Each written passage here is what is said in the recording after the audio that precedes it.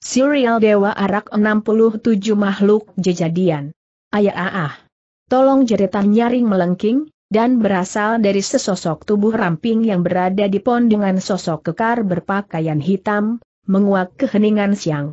Tubuh wanita itu menggeliat-geliat dalam pelukan tangan kanan sosok berpakaian serba hitam. Penjahat-penjahat keji. Jangan harap kalian dapat lolos dari tanganku sebuah suara keras dan parau bernada kemarahan, menimpali teriakan wanita berpakaian merah itu. Pemilik suara kedua ini ternyata seorang lelaki berusia sekitar 50 tahun bertubuh tinggi kurus dan berkumis melintang. Dia berlari cepat mengejar sosok hitam yang membawa kabur putrinya. Sebuah golok pendek berwarna hitam mengkilat tergenggam di tangan kanannya. Lelaki berpakaian coklat tua itu ternyata memiliki kecepatan lari berada di atas sosok hitam yang dikejarnya. Jarak antara mereka yang semula cukup jauh, semakin lama semakin dekat. Namun ketika jarak mereka tinggal sekitar 10 tombak, kawan-kawan sosok berpakaian hitam membalikan tubuh, menghadang di depannya. Hal ini membuat lelaki berkumis melintang tidak bisa melanjutkan pengejarannya. Tua Bang Kadungu. Rupanya kau sudah kepingin masuk ke lubang kubur, he seru sosok berpakaian serba hitam yang bertubuh pendek kekar. Tangan kanannya bergerak, dan tahu-tahu di dalam genggamannya telah tercekal sebuah pisau pendek berwarna putih mengkilat. Tiga sosok hitam lainnya pun melakukan hal yang sama.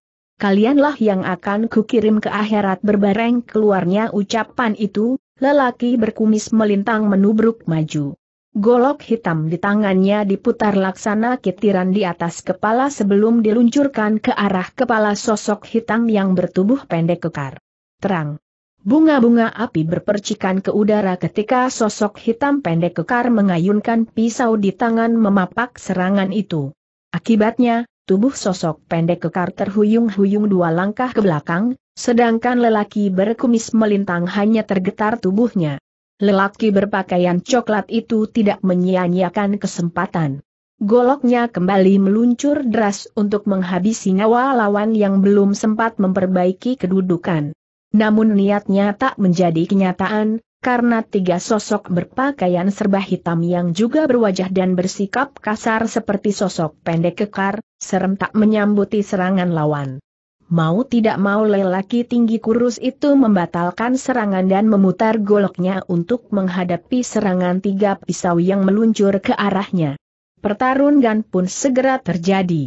Lelaki berpakaian coklat yang terus diliputi kecemasan terhadap keselamatan putrinya itu bertarung kalap seperti binatang buas terluka.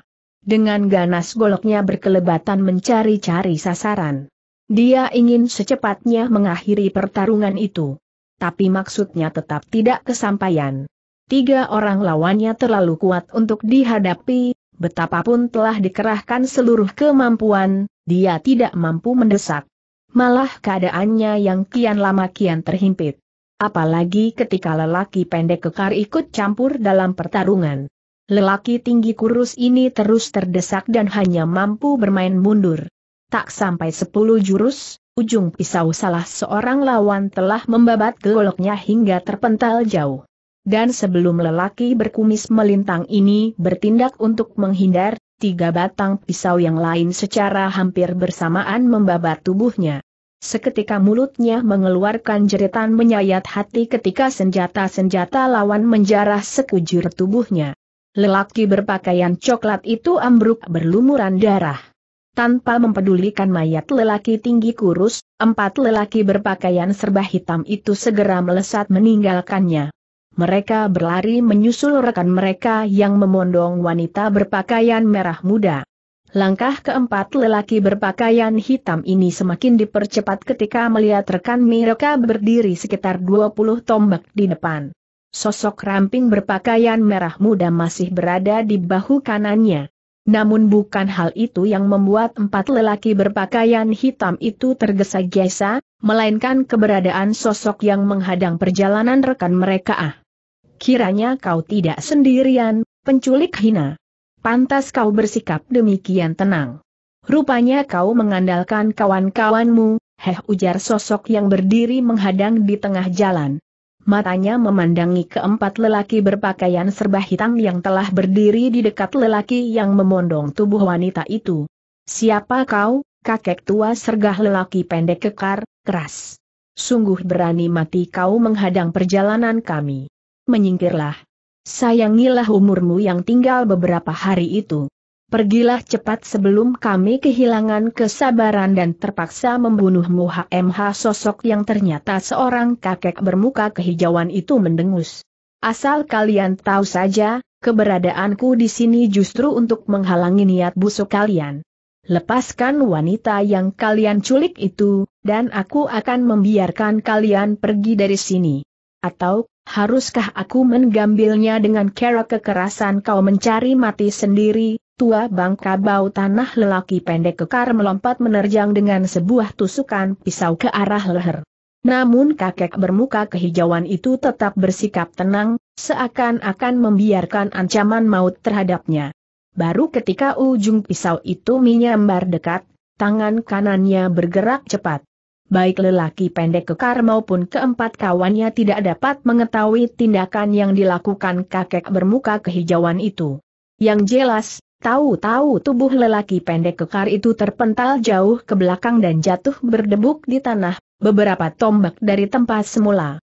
Pisau putih mengkilat yang semula berada di tangannya telah berada di tangan kakek bermuka kehijauan. Sambil tertawa terkekeh-kekeh kakek bermuka kehijauan itu menimang-nimang pisau lawannya. Sebuah senjata yang cukup bagus, gumam kakek bermuka kehijauan yang bertubuh tinggi melebihi manusia umumnya. Mungkin tinggi tubuhnya tidak kurang dari satu setengah kali manusia normal. Melihat dalam segebrakan lelaki pendek kekar telah dapat dirobohkan, keempat rekannya pun tahu kalau kakek bertubuh jangkung ini memiliki kepandaian amat tinggi. Maka serentak mereka mencabut senjata masing-masing.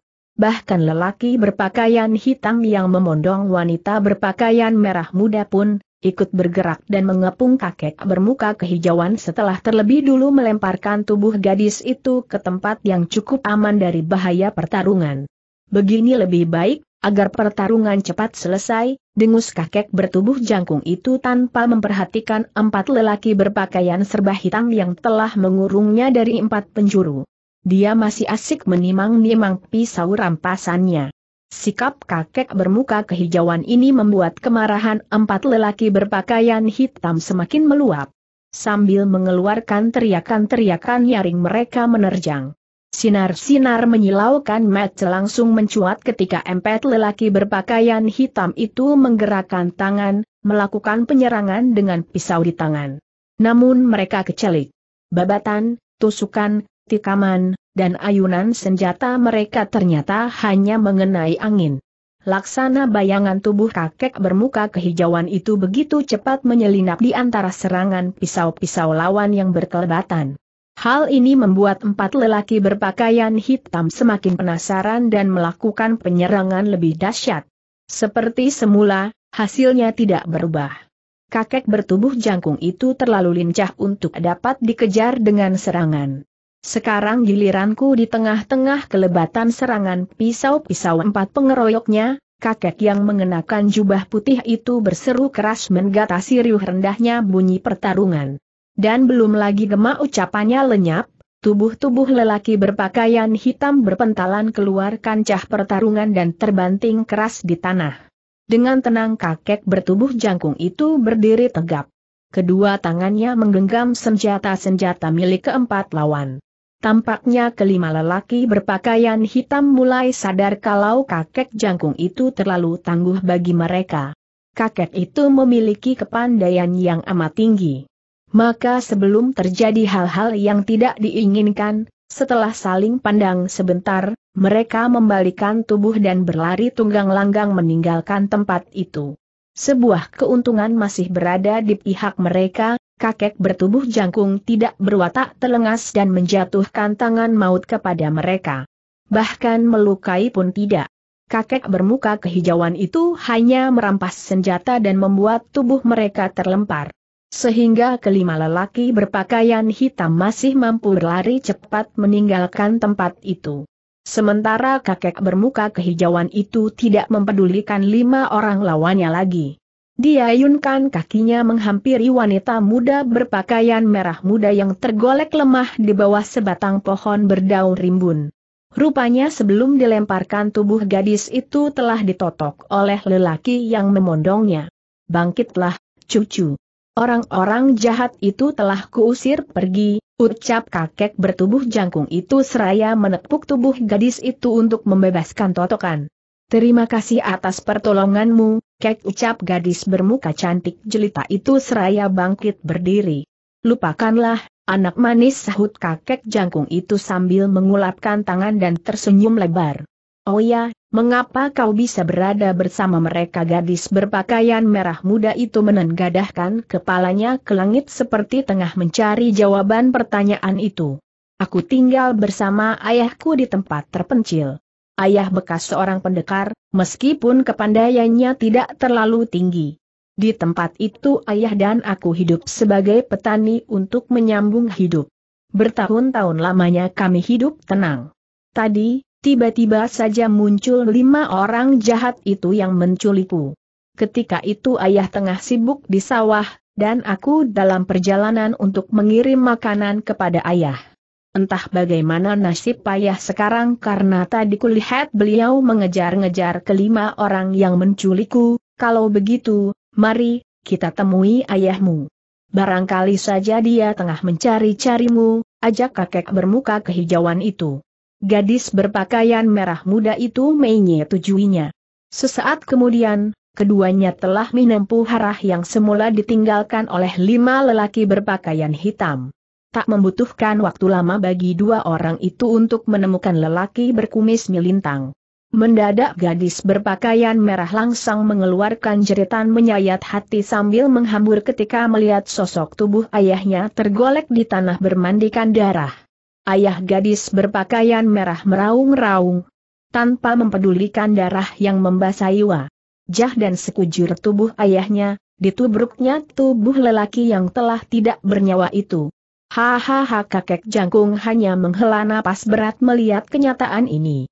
Disadari kalau tidak ada gunanya mencegah tindakan gadis berpakaian merah itu. Dibiarkan saja dia menangis dengan suara memilukan beberapa saat sebelum akhirnya roboh tak sadarkan diri.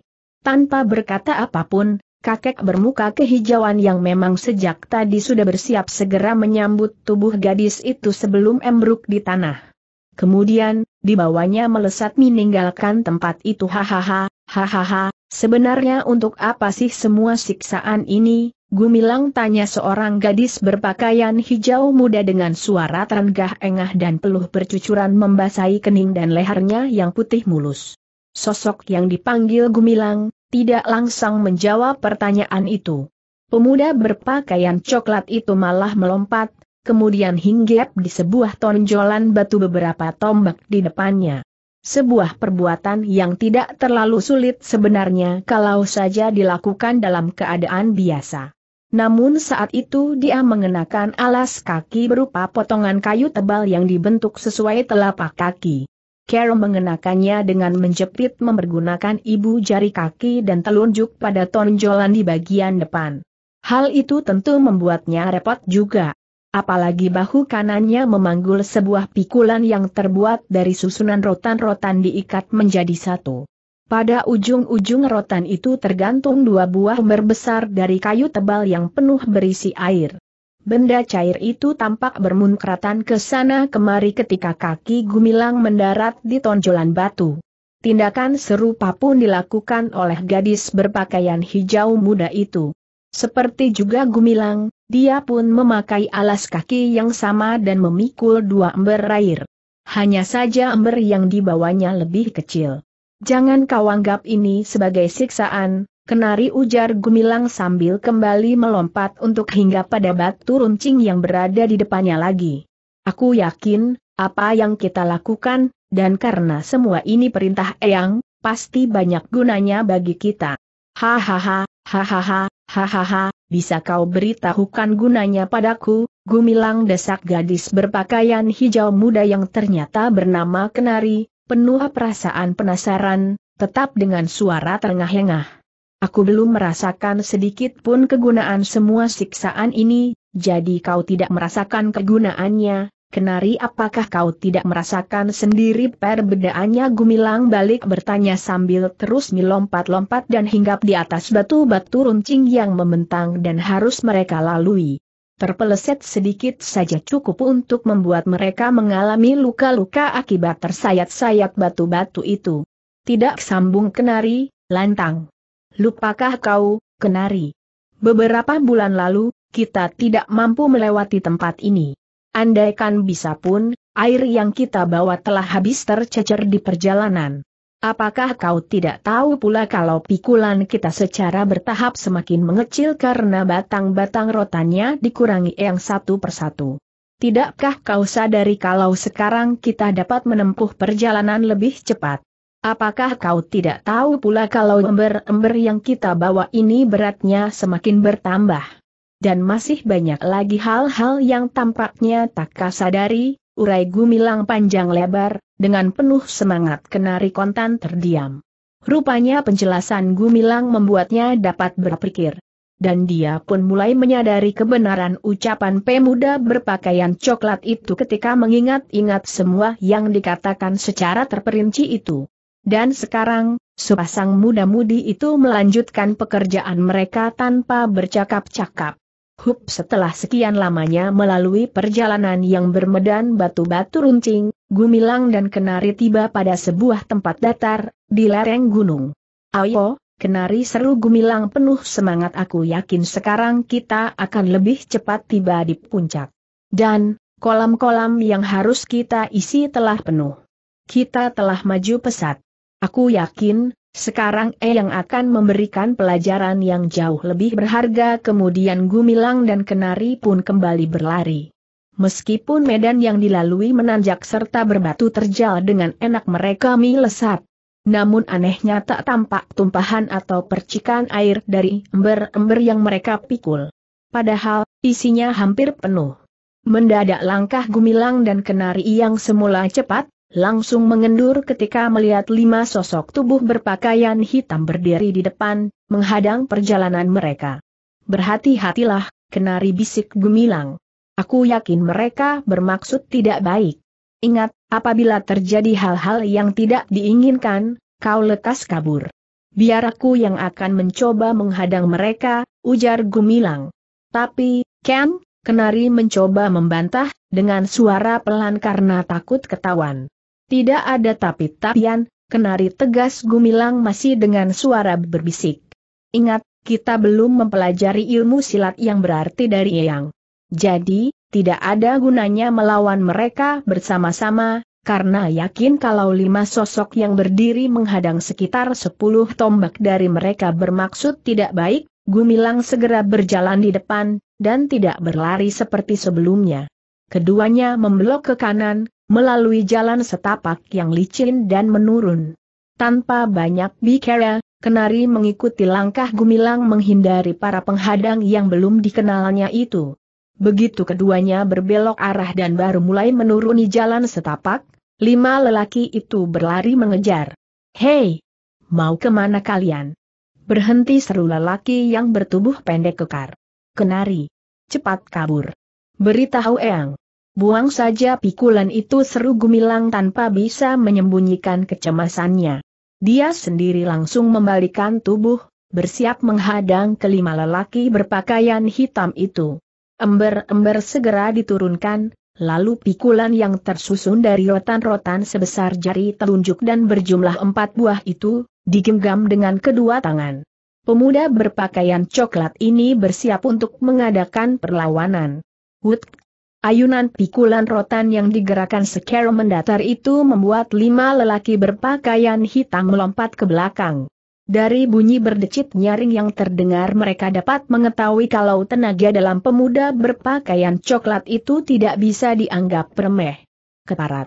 Rupanya kau sudah kepingin mampus, Hesru lelaki pendek kekar geram ketika melihat gadis berpakaian hijau muda yang berada jauh di depan.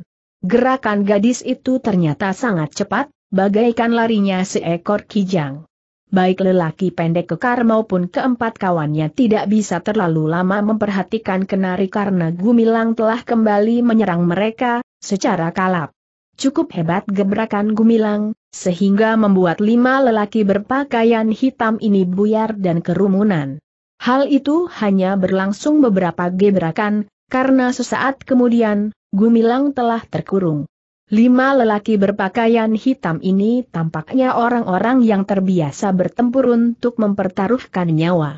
Maka sebentar kemudian mereka langsung tahu kalau Gumilang hanya menang dalam hal tenaga dan kegesitan gerakan, sedangkan mengenai gerakan-gerakan ilmu silat, tipu-tipu penyerangan, dan tangkisan maupun lakan, belumlah mahir.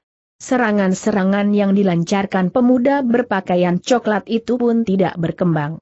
Dapat ditebak dan mudah dipatahkan. Keadaan Gumilang benar-benar gawat. Sementara itu, Kenari meskipun mengkhawatirkan keselamatan Gumilang, terus berlari tanpa mempedulikan medan yang ditempuh. Tidak dipedulikannya sama sekali jalanan licin atau kadang semak belukar berduri yang membuat pakaiannya koyak-koyak, namun anehnya tidak mampu melukai kulitnya yang halus. Yang ada di benaknya adalah berlari secepat mungkin untuk memberitahukan kejadian ini pada gurunya. Krak, beruk. Hei kenari mengeluarkan jeritan kaget ketika sebatang pohon besar tiba-tiba tumbang menghalangi jalan, padahal saat itu dia tengah berlari secepat mungkin. Gadis berpakaian hijau muda ini menjadi gugup, tapi tetap tidak kehilangan kesadaran untuk bertindak, meski untuk sesaat nyalinya seperti terbang entah ke mana. Untuk pertama kali, kenari yang belum pernah menggunakan kemampuannya, ditantang untuk menyelamatkan diri dengan kepandaian yang belum diketahui kegunaannya. Hih di saat-saat terakhir, kenari menjejak tanah dengan kaki kanannya. Seketika tubuhnya melenting ke atas melewati batang pohon yang menghalangi jalan. Setelah bersalto beberapa kali di udara, dia berusaha mendarat di tanah. Tapi, tap, Kenari terpekik kaget ketika pergelangan kaki kanannya dicekal oleh sebuah tangan besar dan penuh bulu-bulu tebal. Dan sebelum dia sempat berbuat sesuatu, tubuhnya terayun deras ketika tangan besar itu bergerak menghempaskannya. Kerusak. Tubuh kenari terlempar jauh dan jatuh ke semak-semak. Ini merupakan sebuah keuntungan bagi gadis berpakaian hijau muda ini, karena apabila jatuh menimpa batu atau tanah, dengan luncuran sederas itu, entahlah bagaimana luka yang akan dideritanya. Kenari, menduga kalau pemilik tangan besar dan berbulu itu termasuk orang-orang yang mengejarnya. Karena begitu takutnya ia tidak mempedulikan rasa pusing akibat bantingan tadi. Dengan cepat gadis itu menerobos kerimbunan semak-semak berusaha melesat kabur. Kedua kalinya kenari menjerit kaget. Seketika itu juga terhenti. Matanya membelalak lebar, seakan tidak percaya akan pemandangan yang dilihatnya dua memang tidak terlalu berlebihan kalau kenari sampai demikian terkesima. Sosok yang berdiri di hadapannya dalam jarak dua tombak, memang memiliki potongan tubuh menggiriskan hati. Bentuk tubuhnya tidak ada bedanya dengan manusia biasa, memiliki sepasang tangan, sepasang kaki, dan kepala di atas. Namun bagian tubuhnya yang hanya tertutup pakaian berupa rompi putih, memperlihatkan bulu-bulu halus berwarna hitam dan bergaris-garis kuning seperti layaknya bulu-bulu yang terdapat pada seekor macan. Ketika sosok makhluk yang mengerikan itu membuka mulutnya, tampak gigi-gigi taring runcing mencuat kanan kiri. Sosok ini lebih mirip manusia harimau. GGGRRR hahaha. Mau lari ke mana kau, wanita liar? GRRR hahaha. Jangan harap dapat lolos dari tanganku. GRRR hahaha sosok berompi putih itu mengeluarkan suara keras dan paro dengan sesekali diselingi geraman keras mirip auman harimau. Seruan manusia harimau itu membuat kenari sadar dari terkesimanya. Dan hal ini menyelamatkan nyawanya. Karena saat itu juga lelaki berompi putih yang berbulu harimau loreng itu melompat menerkamnya. Lompatannya pun mirip seekor harimau menyerang mangsanya. Kenari yang belum pernah mempergunakan kemampuannya, dan bahkan belum mengetahui tingkat kepandaiannya, menjadi gugup melihat serangan itu. Sesaat dia terpaku kaku di tempatnya. Untung saja di saat-saat gawat, ketika jari-jari tangan sosok manusia harimau yang mempunyai kuku-kuku panjang melengkung dan berwarna kehitaman hampir merencah lehernya, Kenari teringat akan pelajaran ilmu silat yang diterimanya dari gurunya. Kaki kanannya digerakkan melakukan tendangan lurus ke arah perut lawan yang tengah melompat. Wut! Manusia harimau itu ternyata benar-benar memiliki ilmu meringankan tubuh yang hampir tidak masuk akal. Serangan kenari berhasil dilakannya. Padahal, saat itu tubuhnya tengah berada di udara, tidak memiliki landasan apa pun yang dapat digunakan untuk menjejak, tapi toh hal itu mampu dilakukannya. Dengan hanya menggeliatkan tubuh, serangan kenari berhasil dilakannya, bahkan sempat mengirimkan sempokan yang membuat gadis berpakaian hijau muda itu melempar tubuh ke belakang dan bergulinggan menjauh. Karena tidak ingin bertarung, Kenari mempergunakan kesempatan itu untuk terus mencelat dan melarikan diri. Namun manusia harimau itu benar-benar tidak mau melepaskannya. Dengan kecepatan yang mengagumkan makhluk aneh itu melesat mengejar. Kejar-kejaran pun terjadi.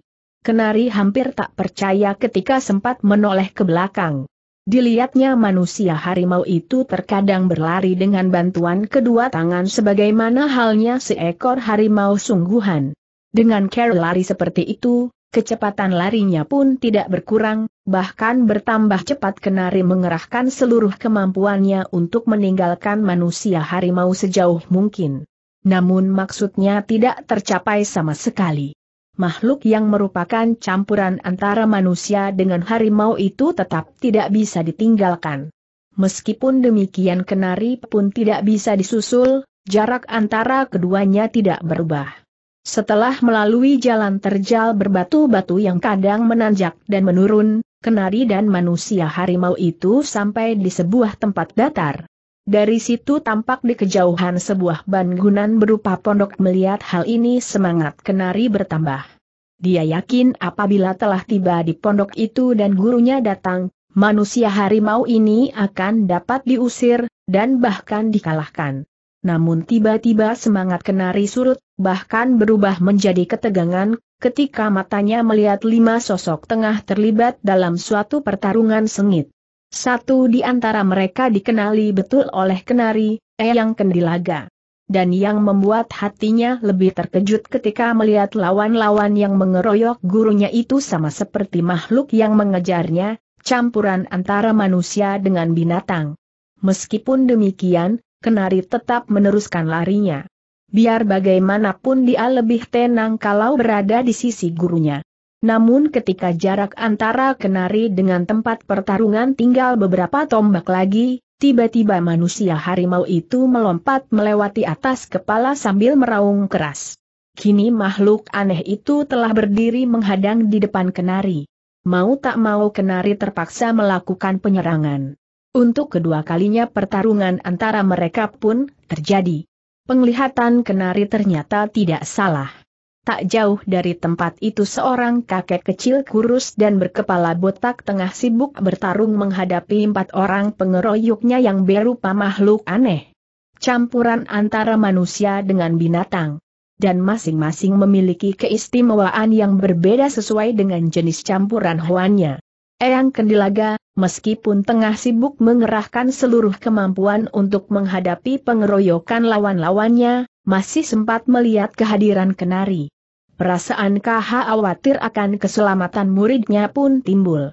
Ingin dia berusaha menolong kenari, tapi apa dayanya dia sendiri tengah sibuk menghadapi gempuran dahsyat kelima makhluk aneh itu. Des!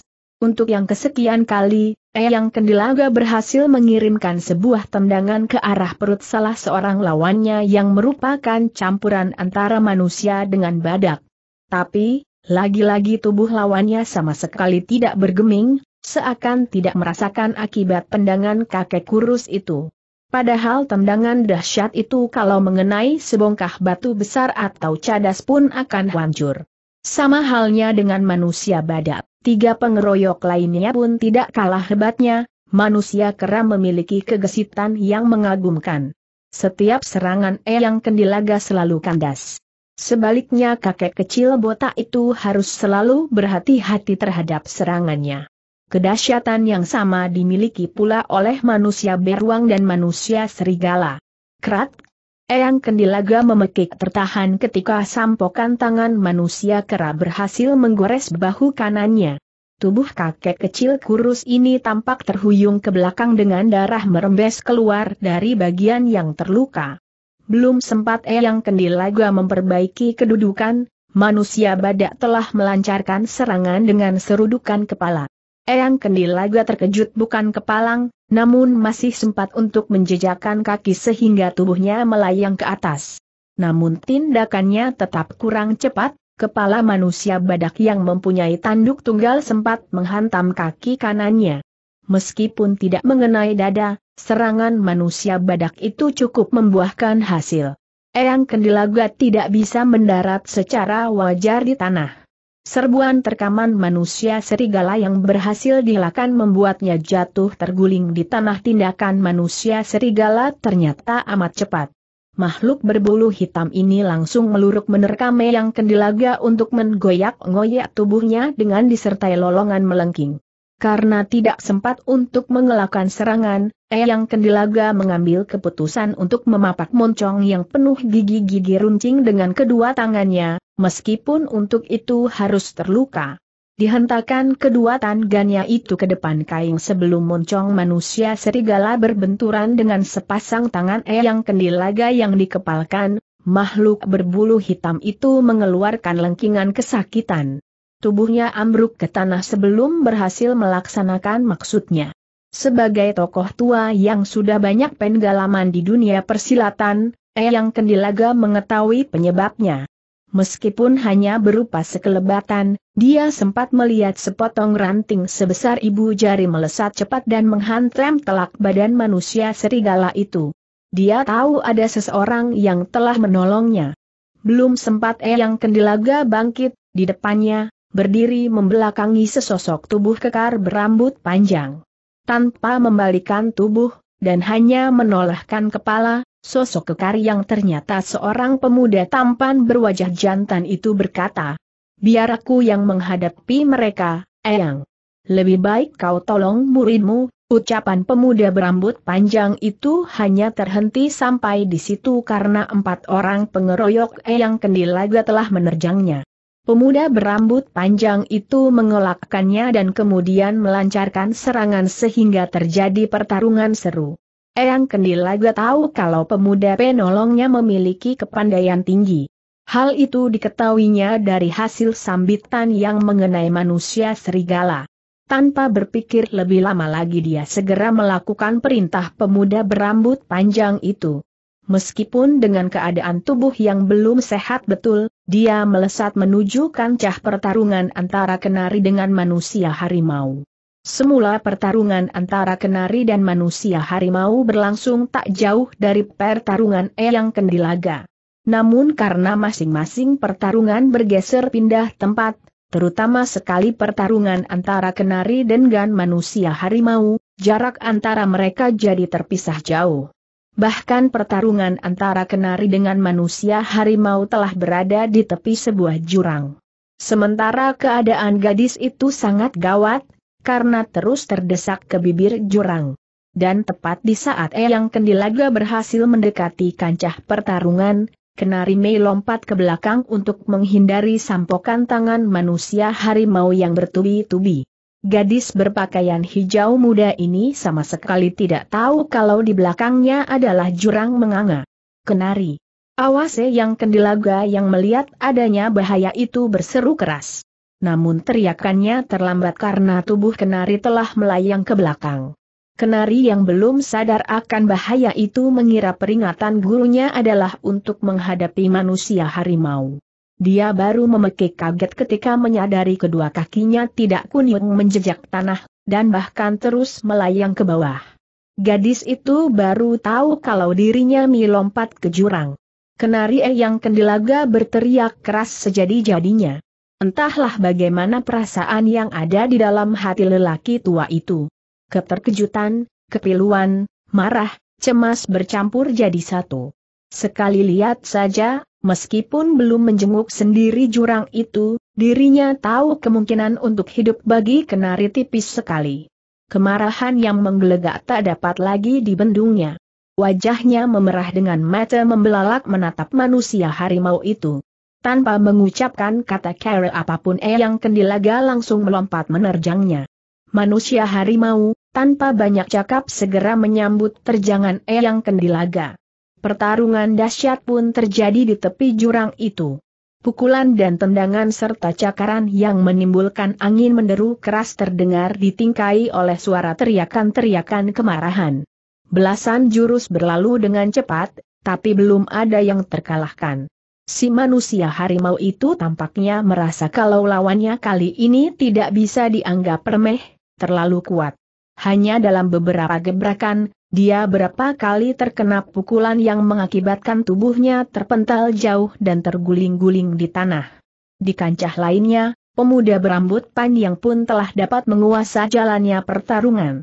Meskipun manusia serigala dan manusia monyet memiliki kecepatan gerak yang mengagumkan, dia mampu mengatasi mereka. Beberapa kali dia membagi-bagi pukulan pada empat lawannya terutama sekali pada manusia badak dan manusia beruang yang mempunyai gerakan lambat. Untung manusia beruang dan manusia badak memiliki kekuatan tubuh yang mengagumkan, sehingga pukulan-pukulan pemuda berambut panjang itu seperti tidak menimbulkan akibat apa pun pada mereka. Tidak demikian halnya dengan manusia kera dan manusia serigala. Baru dua kali pukulan pemuda berambut panjang bersarang, mereka sudah tidak mampu bangkit lagi, tergolek di tanah. Sekarang yang masih mengadakan perlawanan sengit tinggal manusia badak dan manusia beruang yang sudah agak payah dalam melakukan gerakan. Sebuah tendangan yang dilakukan pemuda berambut panjang tanpa terduga-duga membuat manusia beruang terpental jauh dan terbanting di tanah tak berkutik lagi. Tendangan yang mendarat di dada itu membuat tulang tubuh campuran antara manusia beruang itu remuk. Kenyataan ini membuat manusia badak menggeram keras. Dengan cepat makhluk berkulit keras itu melakukan penyerangan dengan mempergunakan kepalanya. Deru angin keras mengiringi tibanya serangan yang menuju ke dada pemuda berambut panjang itu. Dan, cap, cap, Kepala bercula itu menghantam perut pemuda berambut panjang dengan telak. Namun sebuah kejadian yang mengejutkan lawannya terjadi, tubuh pemuda berambut panjang itu tidak bergeming sama sekali. Malah, kepala manusia badak itu yang menempel di perutnya. Dengan telak dan keras kepala bercula itu menghantam perut pemuda berambut panjang yang tidak berusaha mengelak sama sekali. Namun sebuah kejadian yang mengejutkan lawannya terjadi. Tubuh pemuda berambut panjang itu tidak apa-apa. Bergeming pun tidak. Kepala manusia badak itu malah menempel ke perutnya. Manusia badak mendengus dan berusaha untuk menarik kepalanya. Tapi sia-sia saja. Kepalanya seakan telah melekat dengan perut lawan. Selain itu, ada hawa panas luar biasa yang menyeruak dari perut pemuda berambut panjang. Itu, sehingga membuat kepala manusia badak itu seperti diletakkan di atas sebuah tungku api yang panas. Manusia badak ini meraung-raung kesakitan dengan suaranya yang aneh. Saat itulah, pemuda berambut panjang menghantamkan kedua telapak tangannya yang terbuka pada sisi-sisi kepala manusia badak. Blang! Raungan keras dan menggetarkan keluar dari mulut si manusia badak. Tubuh makhluk J jadian ini sempoyongan karena pada saat yang bersamaan, pemuda berambut panjang itu melepaskan tenaga yang membuat kepala lawan menempel dengan perutnya.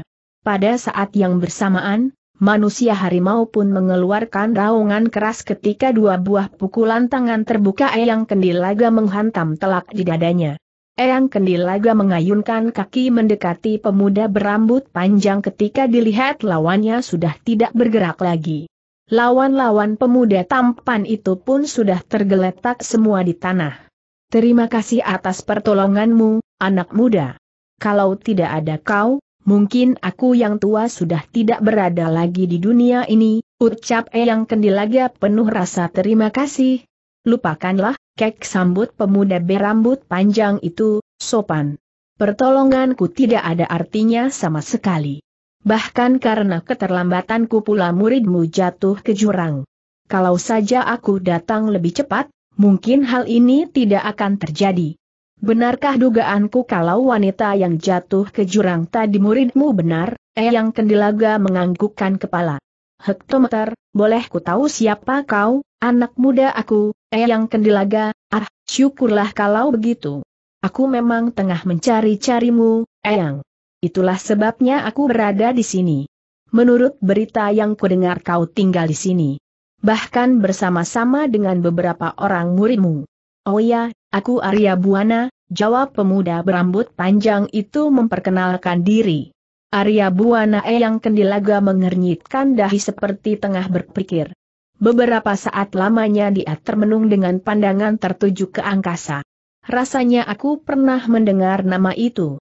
Dan, ah, Arya, bukankah kau yang terkenal dengan julukan Dewa Arak? Ya, benar. Ciri-cirimu sesuai dengan berita yang kudengar mengenai tokoh muda yang telah menggoncangkan dunia persilatan. Bukankah kau yang berjuluk Dewa Arak, Arya begitulah orang memberiku julukan, Yang, jawab Arya, tanpa rasa bangga sama sekali. Tapi, aku lebih suka dipanggil dengan namaku, Arya, Eyang Kendilaga merasa kagum mendengar ucapan pemuda berambut panjang yang berdiri di hadapannya. Dari tanggapan atas ucapannya dia tahu kalau Arya memiliki watak rendah hati. Penuh rasa gembira, sungguh pun tidak bisa menyembunyikan kegetiran hatinya akibat jatuhnya kenari ke dalam jurang, ditatapnya sekujur tubuh Arya penuh selidik. Pakaian khasnya yang berwarna ungu dengan rambut panjang berwarna putih keperakan. Tak ketinggalan pula guci arak yang tergantung di punggung, jelas ciri-ciri yang dimiliki Dewa Arak. Oh ya, hektometer, lalu apa maksud kedatanganmu mencariku, Arya apakah hanya sekadar untuk mengunjungi gubuku yang reot ini tanya Eyang Kendilaga kemudian seraya tersenyum memandangi Dewa Arak. Kurasa hal itu bisa kita bicarakan nanti, Eyang. Urusan ini tidak terlalu mendesak. Lebih baik kita selidiki kemungkinan keadaan muridmu. Mudah-mudahan saja dia masih hidup dan lolos dari maut, Arya mengajukan usul. Tidak ada salahnya kalau kuikuti saranmu itu, Arya. Tapi, aku yakin kemungkinan untuk hidup bagi kenari amat kecil. Aku tahu betul, jurang itu amat dalam dan terjal, sulit untuk dapat kita turuni kecuali kalau mempunyai sayap, mulut kakek kecil kurus ini berkata demikian, tapi kakinya melangkah menuju jurang tempat tubuh kenari tadi terjatuh. Hampir Dewa Arak tertawa geli, tapi karena takut menyinggung hati kakek kecil kurus itu, ditahannya. Tanpa berkata apa pun, diikutinya tindakan Eyang Kendilaga menuju ke jurang. Langkah Eyang Kendilaga dan Arya terhenti bibir jurang. Keduanya melongokkan kepala ke bawah. Ternyata benar, di samping curam dan sangat terjal jurang itu amat dalam. Sejauh mata memandang yang terlihat hanya kabut di bawah, tidak tampak sama sekali dasar jurang itu. Arya menghela napas berat. Kemudian ia menoleh ke arah Eyang Kendilaga. Kakek kecil kurus itu pun balas menatapnya dengan pandangan terharu dan penuh penyesalan. Bagaimana, Arya tanya Eyang Kendilaga dengan suara parau dan pelan sekali, rasanya kemungkinan yang dikatakan yang benar. Kecil sekali kemungkinannya bagi kenari dapat lolos dari maut.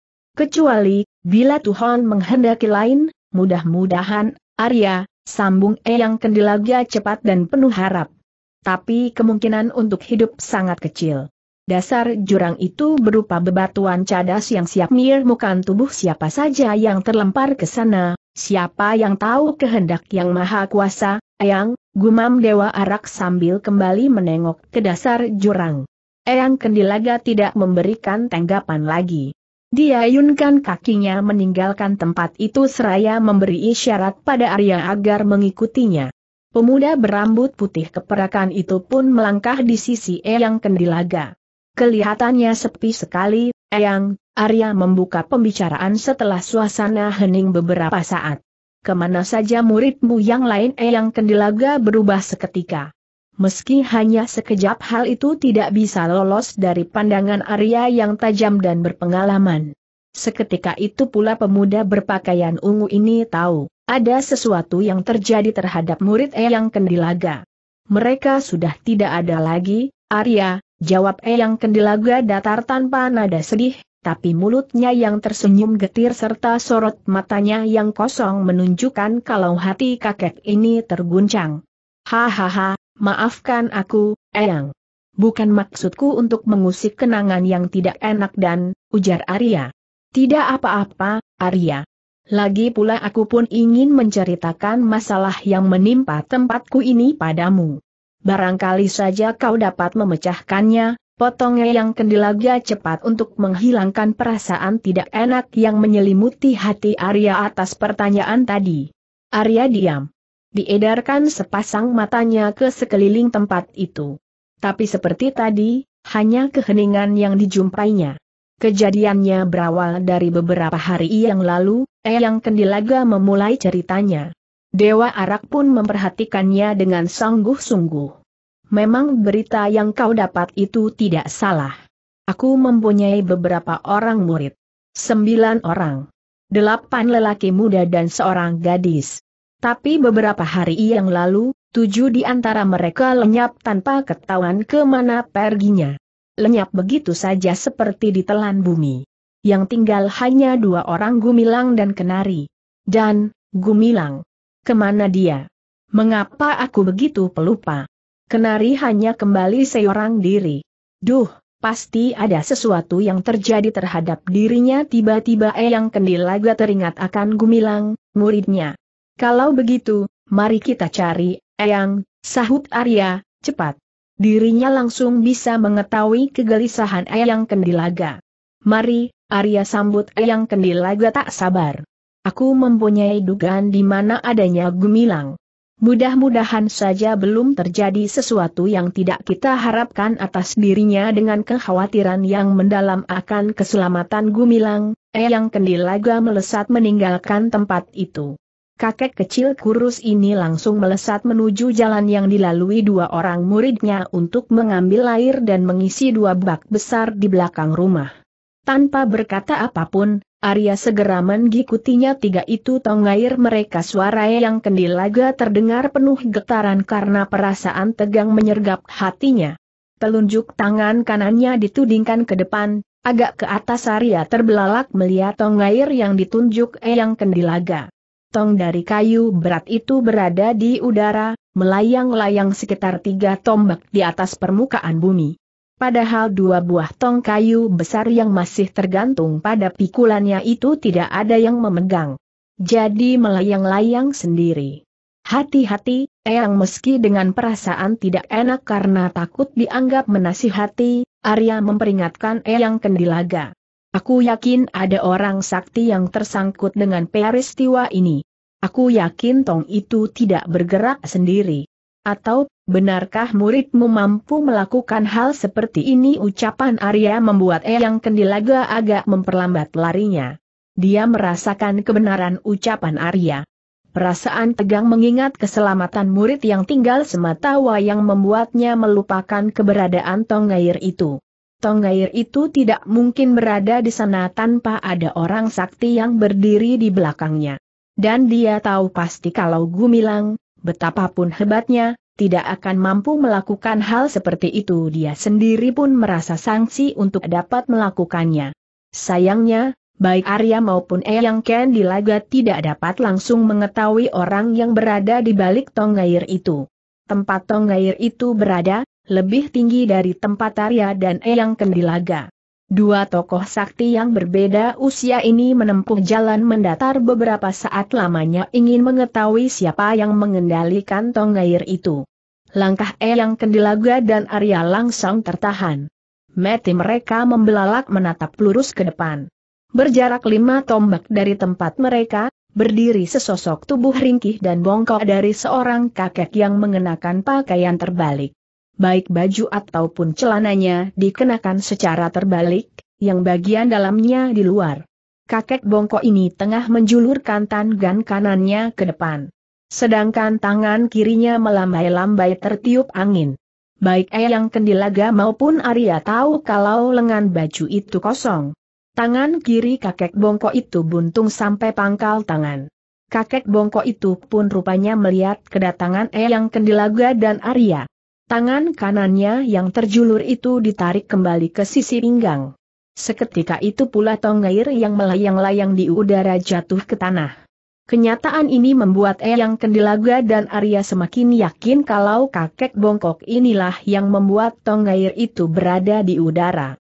Hihihi kakek bongkok itu tertawa terkekeh dengan biji mata berputaran liar seperti orang tak waras.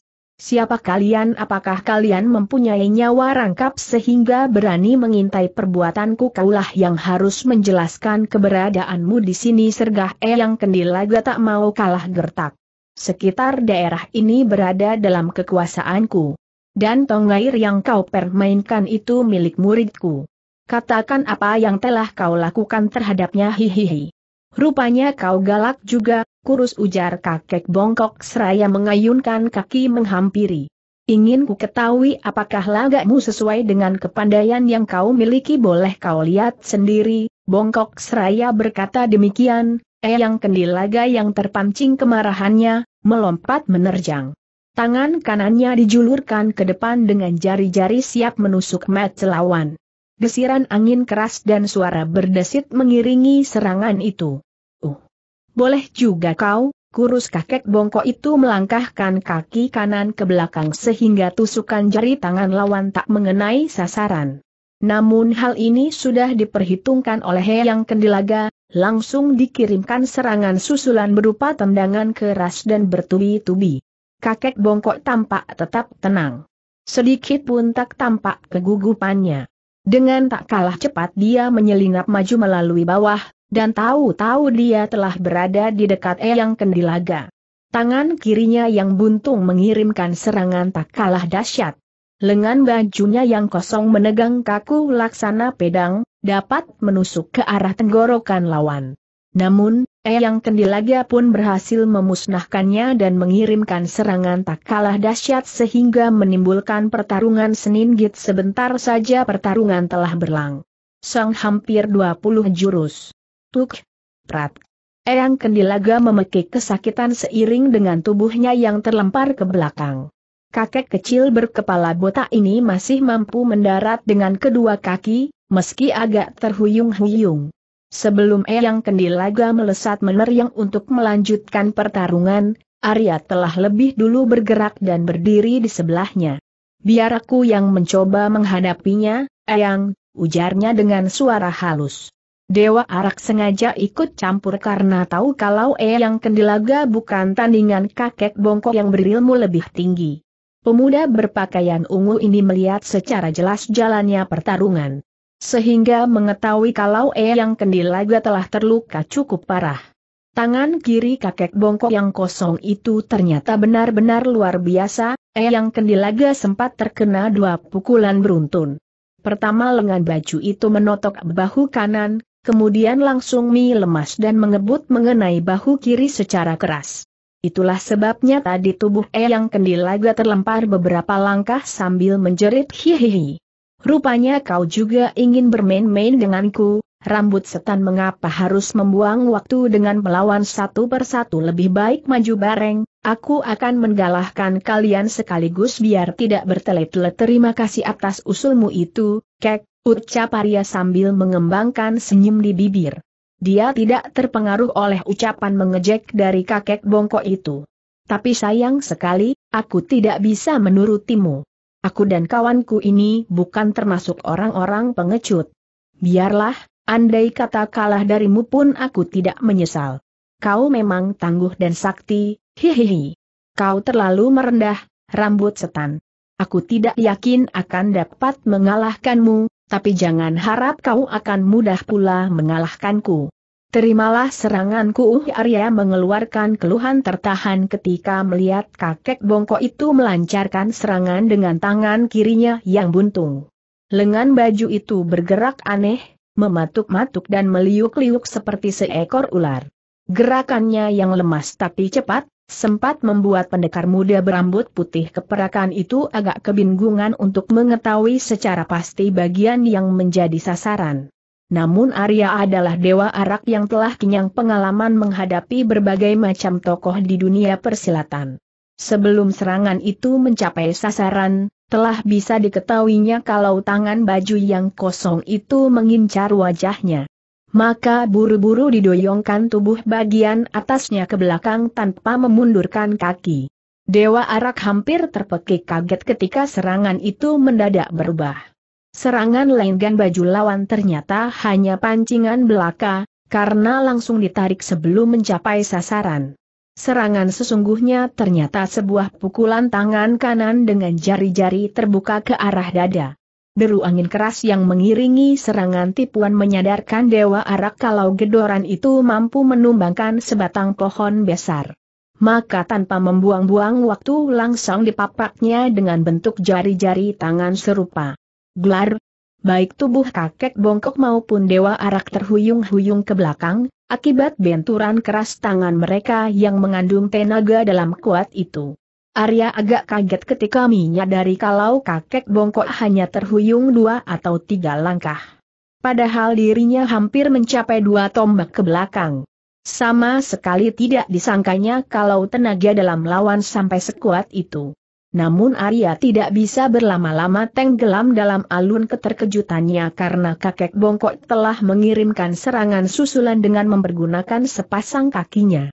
Dua batang kaki itu meluncur bertubi-tubi ke arah Arya dengan kibasan-kibasan yang mengeluarkan deru angin keras. Pertarungan sengit antara dua tokoh berbeda usia itu terus berlangsung.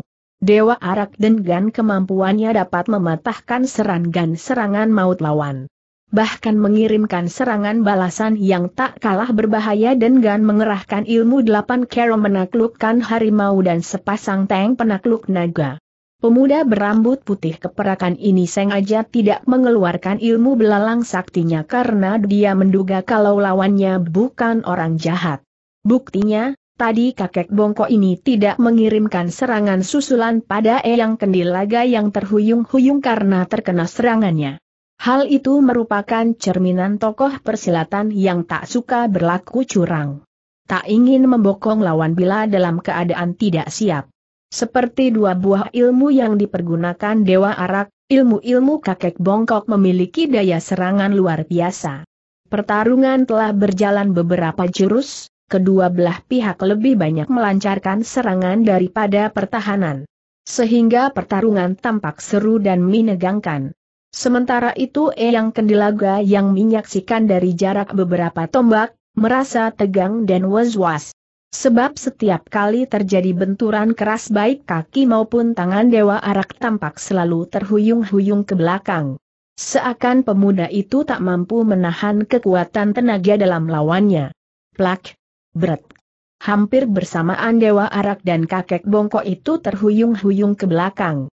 Dari mulut keduanya pun keluar jeritan kesakitan dan keterkejutan. Dalam sebuah gerakan yang sangat cepat, tepakan tangan kanan kakek bongkok berhasil menghantam pundak kiri Arya.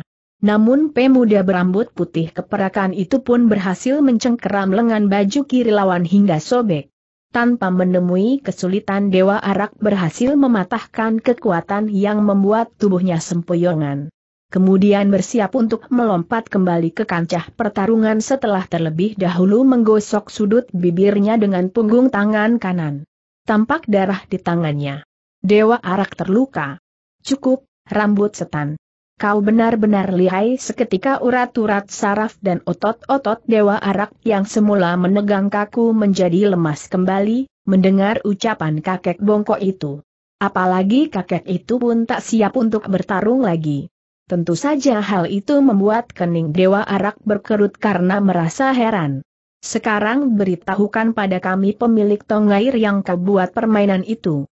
Tentu saja kalau kau memang tidak bermaksud untuk mencari permusuhan dengan kami, selae yang kendilaga cepat hihihi. Pemilik tongair itu tuding kakek bongkok pada tongair yang tergeletak di atas tanah berbatu-batu. Dan ketika hampir Arya dan Eyang Kendilaga menganggukkan kepala, kakek ini segera menyambung ucapannya, mengapa kalian bertanya padaku sejak aku berada di sini pun pemiliknya sudah tidak ada.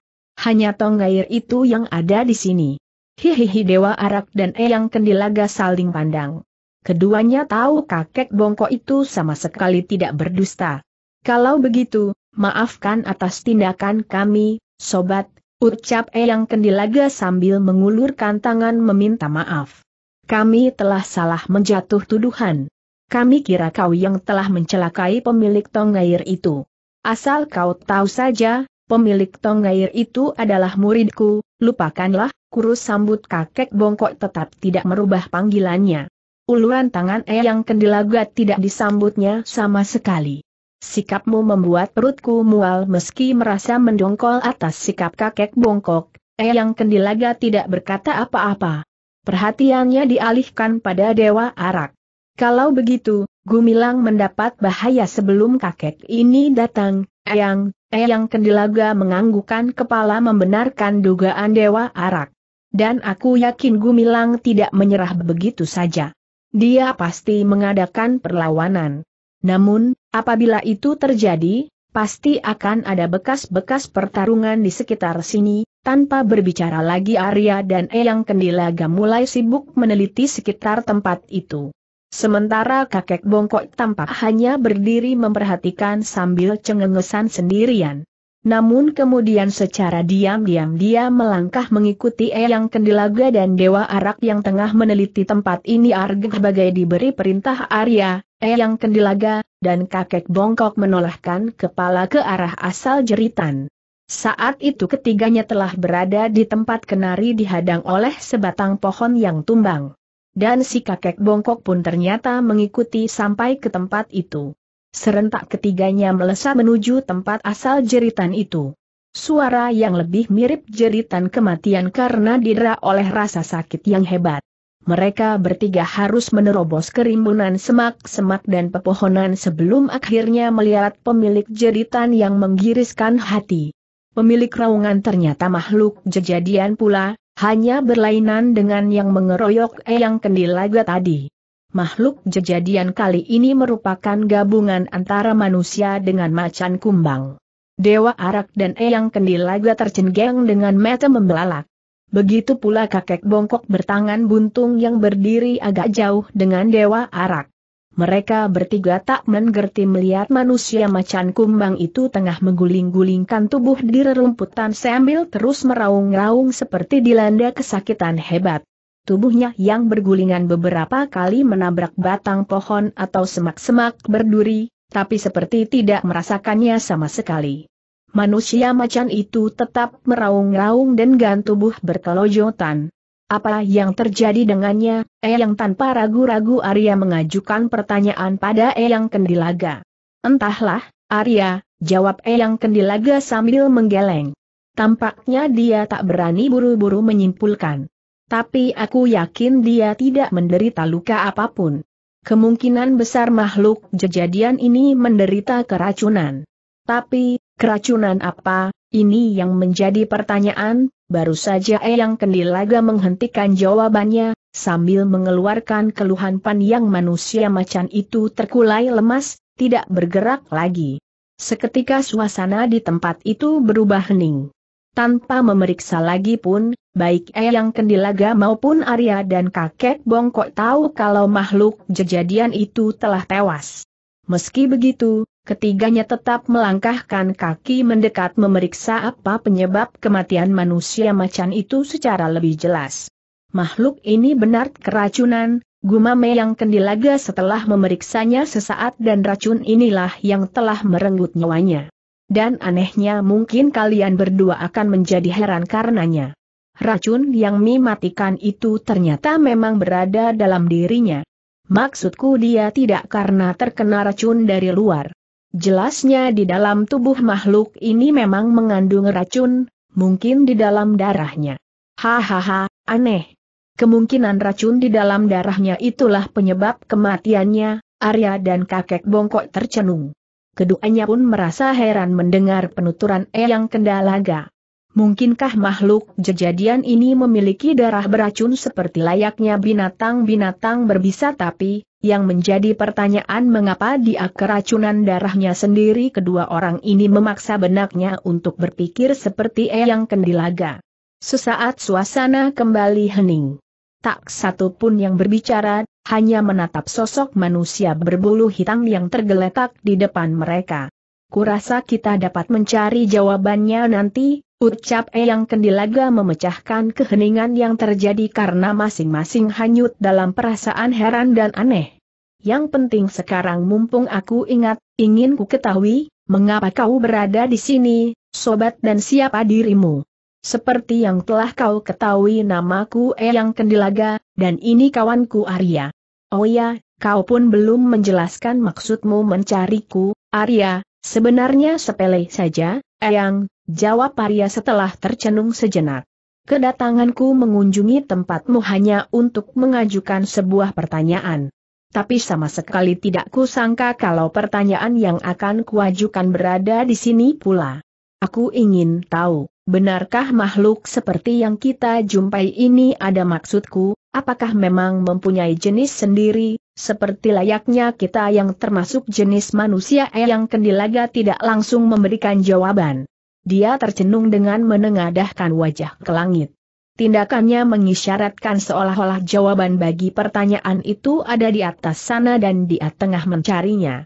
Kemungkinan jawaban bagi pertanyaanmu itu, ya dan tidak Arya, Jawab kakek kecil kurus ini masih dengan kening berkernyit yang menandakan kalau dirinya masih berpikir.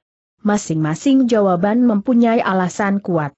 Ya, kalau mengingat rasanya tidak mungkin seorang manusia, betapapun tinggi ilmunya mampu menjelma atau membuat dirinya seperti yang telah kita lihat ini. Mungkinkah seorang manusia dapat merubah manusia atau binatang menjadi campuran antara keduanya rasanya mustahil Arya mengangguk-anggukan kepala karena merasakan adanya kebenaran dalam uraian Eyang Kendilaga. Sementara kakek bongkok diam saja. Bahkan seperti tidak memperhatikan Eyang Kendilaga sama sekali. Tetapi kita pun tak bisa menolak kemungkinan adanya makhluk-makhluk aneh seperti itu. Bukankah di dunia ini banyak keganjilan dan kejadian yang kadang tak masuk akal sama sekali? Yang menjadi pertanyaan dalam hatiku, kalau memang benar makhluk ini ciptaan yang maha kuasa, mengapa baru muncul akhir-akhir ini tidak sejak dulu dan mengapa mereka bisa akur, rukun, satu sama lain, padahal campuran jenisnya berbeda-beda, yang kendilaga berhenti, lalu menatap Arya. Oh ya, mengapa kau tanyakan hal itu, Arya apa kau juga menjumpai mereka di sepanjang perjalanan kemari Arya menganggukkan kepala pertanda membenarkan. Sekarang giliranmu menerangkan semua hal yang berhubungan dengan dirimu, sobat kakek bongkok yang mendapat giliran, tertawa terkekeh-kekeh. Seakan pertanyaan yang Kendilaga merupakan sesuatu yang lucu. Namaku, Resi Bumigi dulu tapi keberadaanku di sini dalam tujuan untuk mencari murid murtadku. Dia berhasil lolos dari penjara di sebuah pulau kosong dan penuh rahasia. Itulah sebabnya aku mencarinya. Muridku seorang ruatak bejat. Apabila dia muncul ke dunia ramai, kekacauan takkan dapat dihindari lagi. Dia memiliki watak telengas, kejam, dan membunuh terlalu ringan baginya. Jejak yang kudapat menunjukkan kalau dia berada di pegunungan ini. Setidak-tidaknya, dia pernah berada di sini. Maka dari sini aku mulai melacak jejaknya. Barangkali saja dapat bertemu, Arya dan Eyang Kendilaga tidak memberikan tanggapan. Mereka mendengarkan penjelasan kakek bongkok sambil mengangguk-anggukan kepala. Benar dugaan Dewa Arak bahwa tokoh tua itu bukan orang jahat empat huk dengan sebuah gerakan manis seorang gadis berpakaian merah melompat dari atas punggung kuda dan mendarat di tanah. Rambutnya yang digelung ke atas agak bergoyang-goyang ketika kakinya menjejak tanah. Kemudian, setelah mengikatkan tali kuda pada sebatang pohon yang di dekatnya banyak terdapat rumput segar, gadis berpakaian merah ini menghampiri sebuah sungai. Hanya dengan beberapa langkah, dia telah berada di pinggir sungai, dan berjongkok di bagian pinggiran yang dekat dengan permukaan air. Ah! Segarnya desah gadis berpakaian merah itu setelah membasuh wajah dan kedua tangannya dengan air sungai yang jernih. Wajah yang semula penuh peluh dan debu, telah kembali putih kemerahan. Bunyi ringkikan kuda yang tiba-tiba terdengar membuat gadis itu serta-merta membalikkan tubuh dengan sikap waspada. Tangannya dengan cepat mencabut pedang yang tersampir di punggungnya. Seketika sinar yang menyilaukan mata mencuat dari mata pedang yang mengkilat itu. Keparat gadis berpakaian merah itu mengeluarkan desisan kemarahan ketika melihat kuda tunggan ganya ambruk ke tanah. Dari leher kuda coklat itu mengalir darah segar, karena tertancap sebatang pisau. Tanpa berpikir lebih panjang, gadis berpakaian merah ini tahu kalau binatang tunggangannya telah dibunuh orang. Dan dugaannya ternyata tidak salah. Sekejap kemudian, dari balik pepohonan yang ada di sekitar tempat itu berlompatan lima sosok berpakaian hitam. Sebilah pisau berwarna putih mengkilat tergenggam di tangan kanan mereka. Tidak usah membuang-buang tenaga dan gan marah-marah dan mencoba melawan kami, anak manis. Lebih baik kau menyerah dan ikut secara baik-baik. Tidak ada gunanya kau melawan kami ucap lelaki bertubuh pendek kekar sambil menyeringai kejam. Oh, oh jadi kalianlah yang menjadi pelaku penculikan terhadap wanita-wanita tak berdosa tanpa memberikan jawaban atas permintaan lelaki pendek kekar, gadis berpakaian merah itu menghampiri kudanya yang telah tergeletak sambil memasukkan pedangnya ke dalam warangka. Ternyata dia mengambil sebatang tongkat dari pelana kudanya. Ah! Jadi kau telah mendengar berita itu, manis sahut lelaki pendek kekar tanpa merasa kaget lama sekali. Kebetulan kalau begitu. Memang kamilah yang telah melakukan penculikan terhadap wanita-wanita. Menyerahlah kalau kau ingin diperlakukan baik-baik tutup mulutmu, manusia iblis sentak gadis berpakaian merah, wanita lain boleh kau perlakukan sekehendakmu. Tapi aku, Mawar, tidak akan membiarkan kau bertindak semaunya. Orang-orang seperti kalian harus dilenyapkan dari muka bumi lima lelaki berpakaian hitam tertawa bergelak. Semua merasa geli mendengar ucapan gadis berpakaian merah yang mereka anggap terlalu berani itu. Kelimanya baru merasa kaget ketika gadis berpakaian merah itu mengirimkan serangan dengan tongkatnya yang runcing.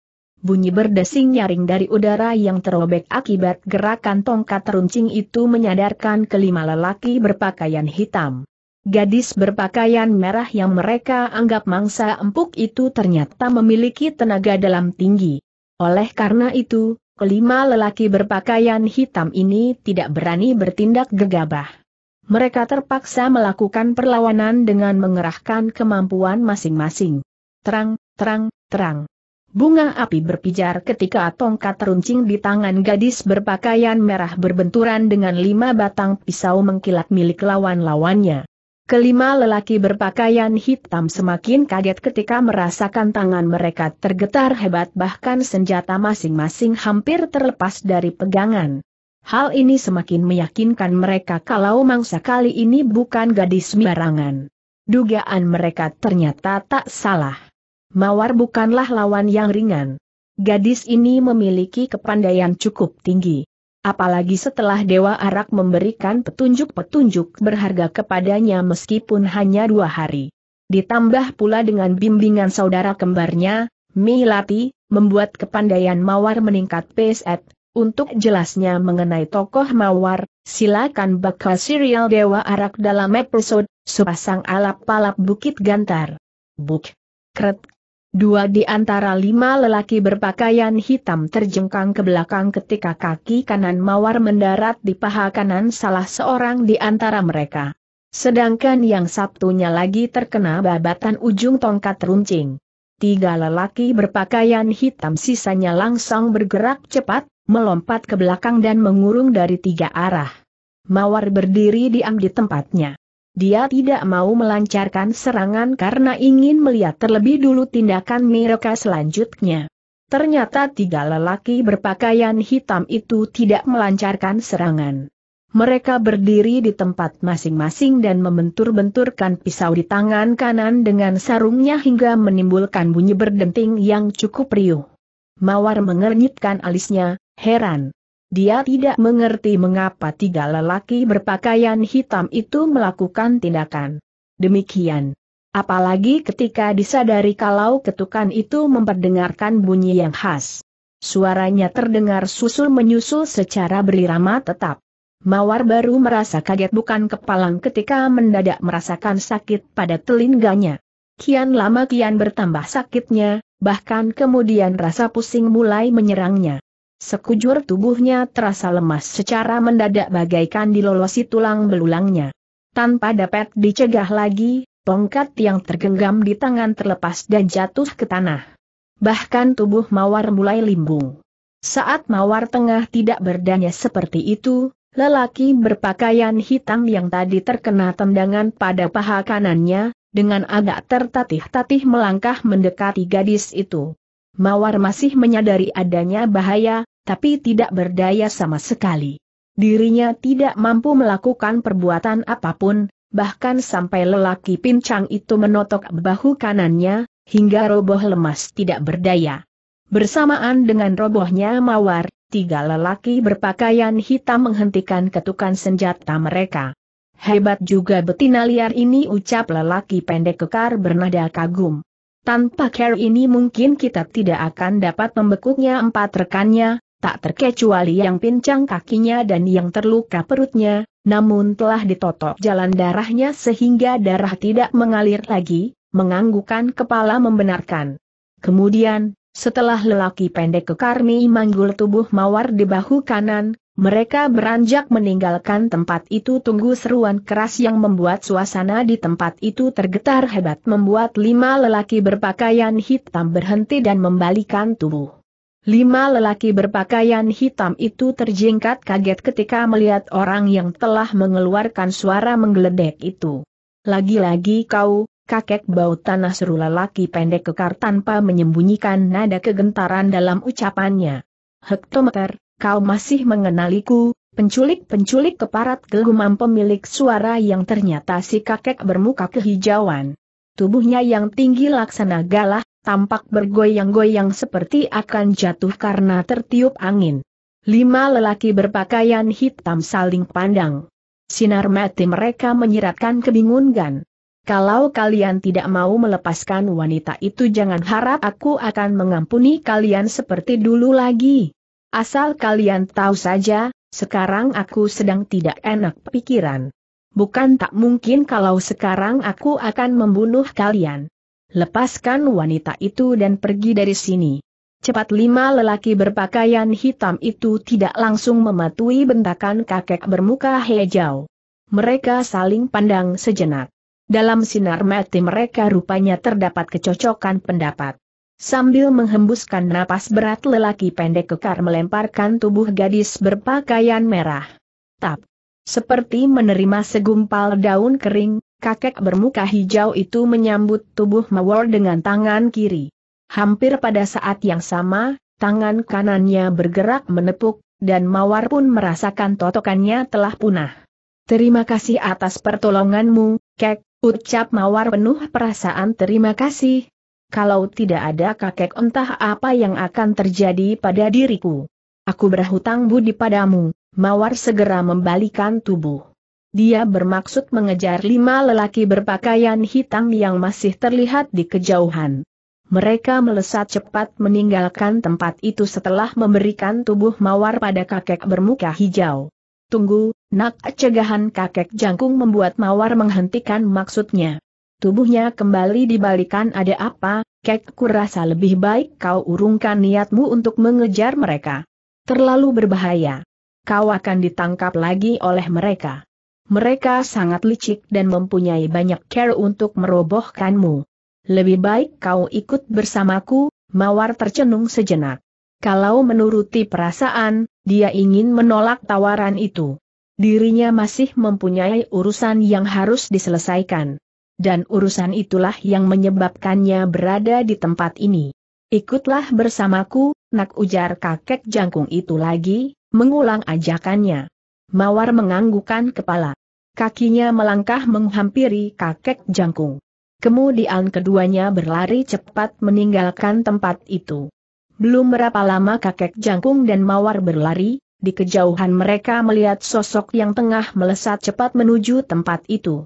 Namun, baik kakek jangkung maupun mawar tidak mempedulikannya sama sekali dan terus berlari.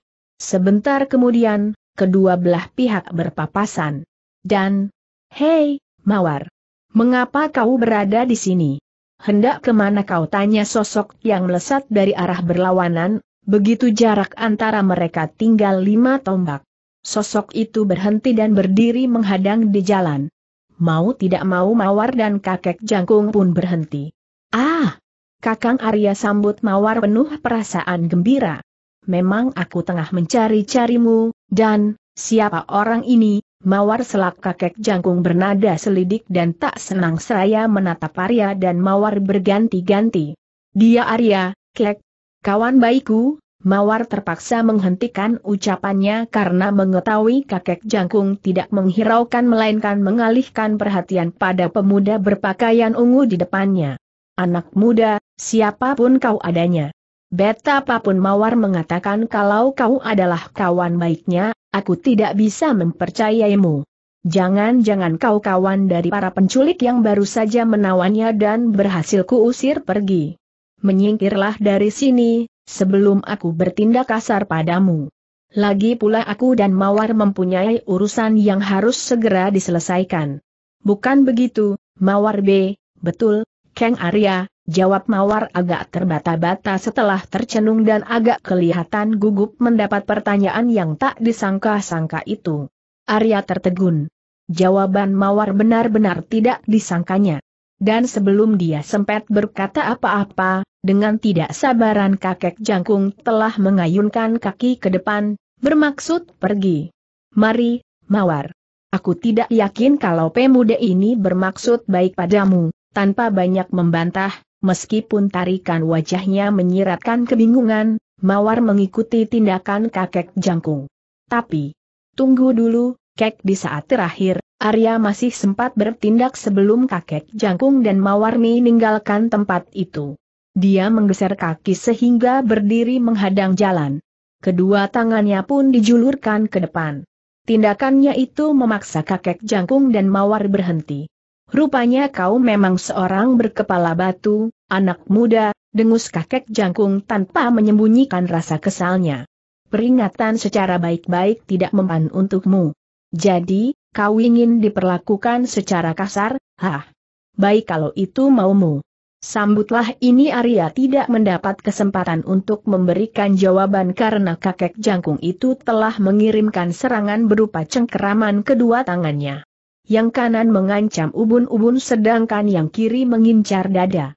Dua buah serangan yang mematikan. Keparat bersamaan dengan dengusan itu, Dewa Arak melempar tubuh ke belakang. Namun kakek jangkung yang telah bangkit amarahnya itu segera melompat memburu seraya mengirimkan tendangan bertubi-tubi ke arah dada dan ulu hati. Tendangan yang mengeluarkan bunyi angin berkesyutan karena didukung pengerahan tenaga dalam tinggi. Plak, plak. Tubuh Dewa Arak terhuyung-huyung dua langkah ke belakang ketika memapak tendangan itu dengan kedua tangannya. Namun serangan maut itu dapat dikandaskannya. Bahkan pemuda berambut putih keperakan itu mampu mengirimkan serangan balasan. Sebentar kemudian, dua tokoh yang berbeda usia ini telah terlibat pertarungan sengit. Tentu saja perkembangan yang tidak tersangka-sangka ini membuat Mawar kebingungan. Dia tidak ingin kakek jangkung itu bertarung dengan Arya. Dia tahu kedua belah pihak telah salah paham. Mawar khawatir pertarungan ini akan membuat salah satu pihak terluka. Hal ini tidak diinginkannya sama sekali, karena baik Arya maupun kakek jangkung telah sama-sama melepas budi besar pada dirinya. Namun sayangnya dia tak memiliki kemampuan apa pun untuk menghentikan pertarungan itu. Yang dapat dilakukan Mawar hanya menyaksikan jalannya pertarungan dengan hati cemas sambil berseru-seru agar kedua belah pihak menghentikan pertarungan. Namun sia-sia saja. Teriakannya sama sekali tidak diperhatikan, apalagi oleh kakek bermuka kehijauan. Rupanya kakek jangkung telah demikian marah sehingga tidak dapat diajak berpikir lagi. Ternyata kau memiliki sedikit kepandaian, anak muda sombong. Pantas kau berani bersikap kurang ajar terhadap orang tua seru kakek jangkung sela-sela hujan serangan yang dikirimkannya. Suara kakek bermuka kehijauan ini terdengar syarat dengan perasaan geram dan penasaran, karena Arya mampu menangkis serangan yang dilancarkan dengan pengerahan seluruh tenaga dalam. Dan setiap tangkisan pemuda berambut putih keperakan itu selalu membuatnya terhuyung dan tergetar. Hal ini membuatnya sangat penasaran, meskipun dilihatnya Arya mengalami hal serupa. Karena kedua belah pihak memiliki gerakan cepat, tak terasa pertarungan telah berlangsung 30 jurus. Selama itu belum terlihat pihak yang akan keluar sebagai pemenang. Keduanya masih saling serang dengan sengitnya. GRRRHHH tanpa terduga-duga, kakek jangkung mengeluarkan geraman keras laksana seekor singa yang hendak melumpuhkan mangsa dengan suara amannya. Sekitar tempat itu tergetar hebat, bahkan Mawar langsung jatuh duduk karena kedua kakinya mendadak lemas. Kalau Mawar saja yang berada cukup jauh dari kancah pertarungan terpengaruh hingga jatuh setengah berlutut, apalagi Dewa Arak, orang yang berada dekat dan menjadi sasaran serangan. Meskipun telah terlindung oleh tenaga dalam tinggi, tak urung tubuh pemuda berambut putih keperakan itu terhuyung-huyung ke belakang. Kalau saja tidak mempunyai tenaga dalam kuat, Isi dadanya mungkin terguncang dan bahkan nyawanya akan melayang. Kakek jangkung yang sudah memperhitungkan hal ini, langsung meluruk dengan temparan kedua tangan bertubi-tubi dari kanan dan kiri ke arah pelipis Dewa Arak. Sudah terbayang di benaknya kalau pemuda berambut putih keperakan itu akan tewas dengan kepala remuk. Arya pun, meski tengah berada dalam keadaan terhuyung-huyung dan matanya berkunang-kunang karena pengaruh suara geraman tadi, masih dapat melihat adanya ancaman bahaya maut. Buru-buru diangkat kedua tangannya untuk menghalangi tangan lawan mendarat di sasaran. Hal ini dilakukan karena tidak mempunyai kesempatan untuk mengelak, plak, plak. Karena sebagian tenaga dalamnya seperti lenyap akibat geraman lawan, Tangkisan yang dilakukan membuat tubuh Arya terlempar dan jatuh bergulingan di tanah. Namun, dengan gerakan manis pemuda bangkit dan berdiri tegak siap untuk menghadapi serangan lanjutan lawan. Iblis seru kakek jangkung penuh perasaan ngeri melihat lawannya masih berdiri tegak dengan sikap siap menghadapi serangannya. Setelah menatap Dewa Arak sejenak, disambarnya tangan Mawar dan dibawanya kabur. Mari, Mawar. Tinggalkan tempat ini kakek jangkung berlari dengan pengerahan seluruh ilmu lari cepatnya karena khawatir Dewa Arak akan mengejarnya. Tindakan kakek ini membuat Mawar yang mempunyai kemampuan lari cepat jauh bawahnya jadi setengah terseret. Namun gadis berpakaian merah ini tidak menghentikan pengerahan ilmu larinya dan membiar. Kan saja tubuhnya dibawa kabur kakek jangkung berlari sambil beberapa kali menoleh ke belakang karena khawatir Arya akan mengejarnya. Hatinya lega ketika melihat pemuda berambut putih keperakan itu tidak mengejarnya, melainkan hanya berdiri menatapnya. Dewa Arak tetap bersikap begitu sampai akhirnya kakek jangkung itu tidak melihatnya karena lenyap di telan kejauhan. Yakin kalau pemuda berbaju ungu tidak mengejarnya, kakek bermuka kehijauan itu memperlambat larinya. Meskipun agak heran mengapa pemuda berambut putih keperakan itu tidak mengejar, padahal keadaannya masih segar bugar, kakek jangkung menghibur hatinya dan gan menganggap Arya merasa sia-sia untuk mencegahnya. Sementara itu, begitu melihat tubuh kakek jangkung lenyap di kejauhan, tubuh Arya baru bergetar keras. Lalu, buah Arya memuntahkan darah segar dari mulutnya darah yang sejak tadi ditahan-tahan keluarnya. Apabila kakek jangkung mengetahui hal ini, nyawanya akan melayang karena kakek itu pasti akan terus melanjutkan penyerangan.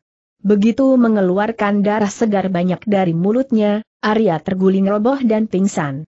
Paksaan yang dilakukannya untuk tetap tampak segar bugar dan menahan-nahan muntahnya darah segar, membuatnya harus mengerahkan tenaga dalam. Padahal, keadaannya saat itu terluka parah, dan tindakan ini membuat luka dalamnya semakin parah lima sosok tubuh tegap bergerak dengan sikap hati-hati mendekati tubuh Arya yang tergolek. Semula sosok yang mengenakan pakaian rompi kulit ular ini tengah berlari cepat, tapi langsung dihentikan ketika melihat sosok tubuh berambut putih keperakan tergolek tak bergerak. Siapa pemuda ini? Ya tanya sosok berpakaian kulit ular yang ternyata seorang pemuda berwajah jantan, apalagi dengan adanya kumis dan jenggot tebal serta hitam menghias wajahnya. Mengapa dia bisa terluka melihat ciri-cirinya aku jadi teringat akan seorang tokoh golongan putih yang julukannya menggemparkan dunia persilatan. Diakah Dewa Arak semua pertanyaan itu terucap hanya di dalam hati pemuda berpakaian kulit ular. Dan dengan pertanyaan yang bergaung-gaung di dalam hati, didekatinya, tubuh Arya dengan sikap waspada karena khawatir kalau-kalau sosok itu tiba-tiba bangkit dan menyerangnya. Namun sampai pemuda berompi kulit ular itu berada dekat dengan tubuh Arya, dan bahkan sampai berjongkok, apa yang dikhawatirkan tidak terjadi. Tubuh itu tetap diam mematung seperti sebelumnya. Hei! Apa yang kau lakukan di saat pemuda berompi kulit ular itu mengulurkan tangan hendak menyentuh tubuh Arya, terdengar suara teriakan. Suara itu terdengar dekat sekali padahal pemiliknya masih berada dalam jarak sekitar 30 tombak, teriakan itu menimbulkan getaran hingga ke dalam dada. Rasa kaget membuat pemuda berompi kulit ular menghentikan gerakan tangannya, dan bahkan menariknya kembali. Tubuhnya segera berbalik, tapi sebelum dia sempat berbuat sesuatu, pemilik suara itu telah berada di depannya. Apa yang hendak kau lakukan terhadap si rambut setan, manusia ular tanya pemilik suara yang ternyata seorang kakek bongkok mengenakan pakaian terbalik, bagian dalam di luar. Jangan sembarangan menuduh, kek sahut pemuda berompi kulit ular itu merasa tidak senang, setelah wajah dan sikapnya menampakkan keterkejutan seperti seorang maling yang tertangkap basah. Aku sendiri baru tiba di sini, dan akan memeriksa tubuh muda ini. Barangkali saja nyawanya masih bisa diselamatkan, kakek bongkok tidak langsung mempercayai jawaban pemuda berompi kulit ular itu. Meski dia tidak memberikan tanggapan, beberapa saat sepasang matanya meneliti sekujur tubuh pemuda berompi kulit ular itu dengan penuh selidik dan tanpa menyembunyikan perasaan curiga. Pemuda berompi kulit ular rupanya termasuk orang yang berwatak sabar, atau merasa gentar melihat sikap dan tindakan kakek bongkok. Dia malah menundukkan kepala setelah sejenak balas menatap. Sikap ini membuat kakek bongkok semakin bertambah curiga karena setaunya hanya orang yang bersalah merasa takut diselidiki. Uh, uh keluhan panjang dari mulut Arya membebaskan pemuda berompi kulit ular dari tatapan penuh selidik kakek bongkok. Sepasang mata, tua tapi masih tajam berkilat penuh pengaruh itu berlari secara cepat ke arah tubuh Arya yang tergolek hihihi. Apa yang terjadi, rambut setan aku tak percaya kalau tidak melihat sendiri. Orang seperti kau bisa terluka. Luar biasa. Apakah ini orang yang telah melukaimu? Tanya kakek bongkok tak sabar begitu melihat Dewa Arak yang tergolek di tanah mengerjap-mengerjapkan sepasang matanya.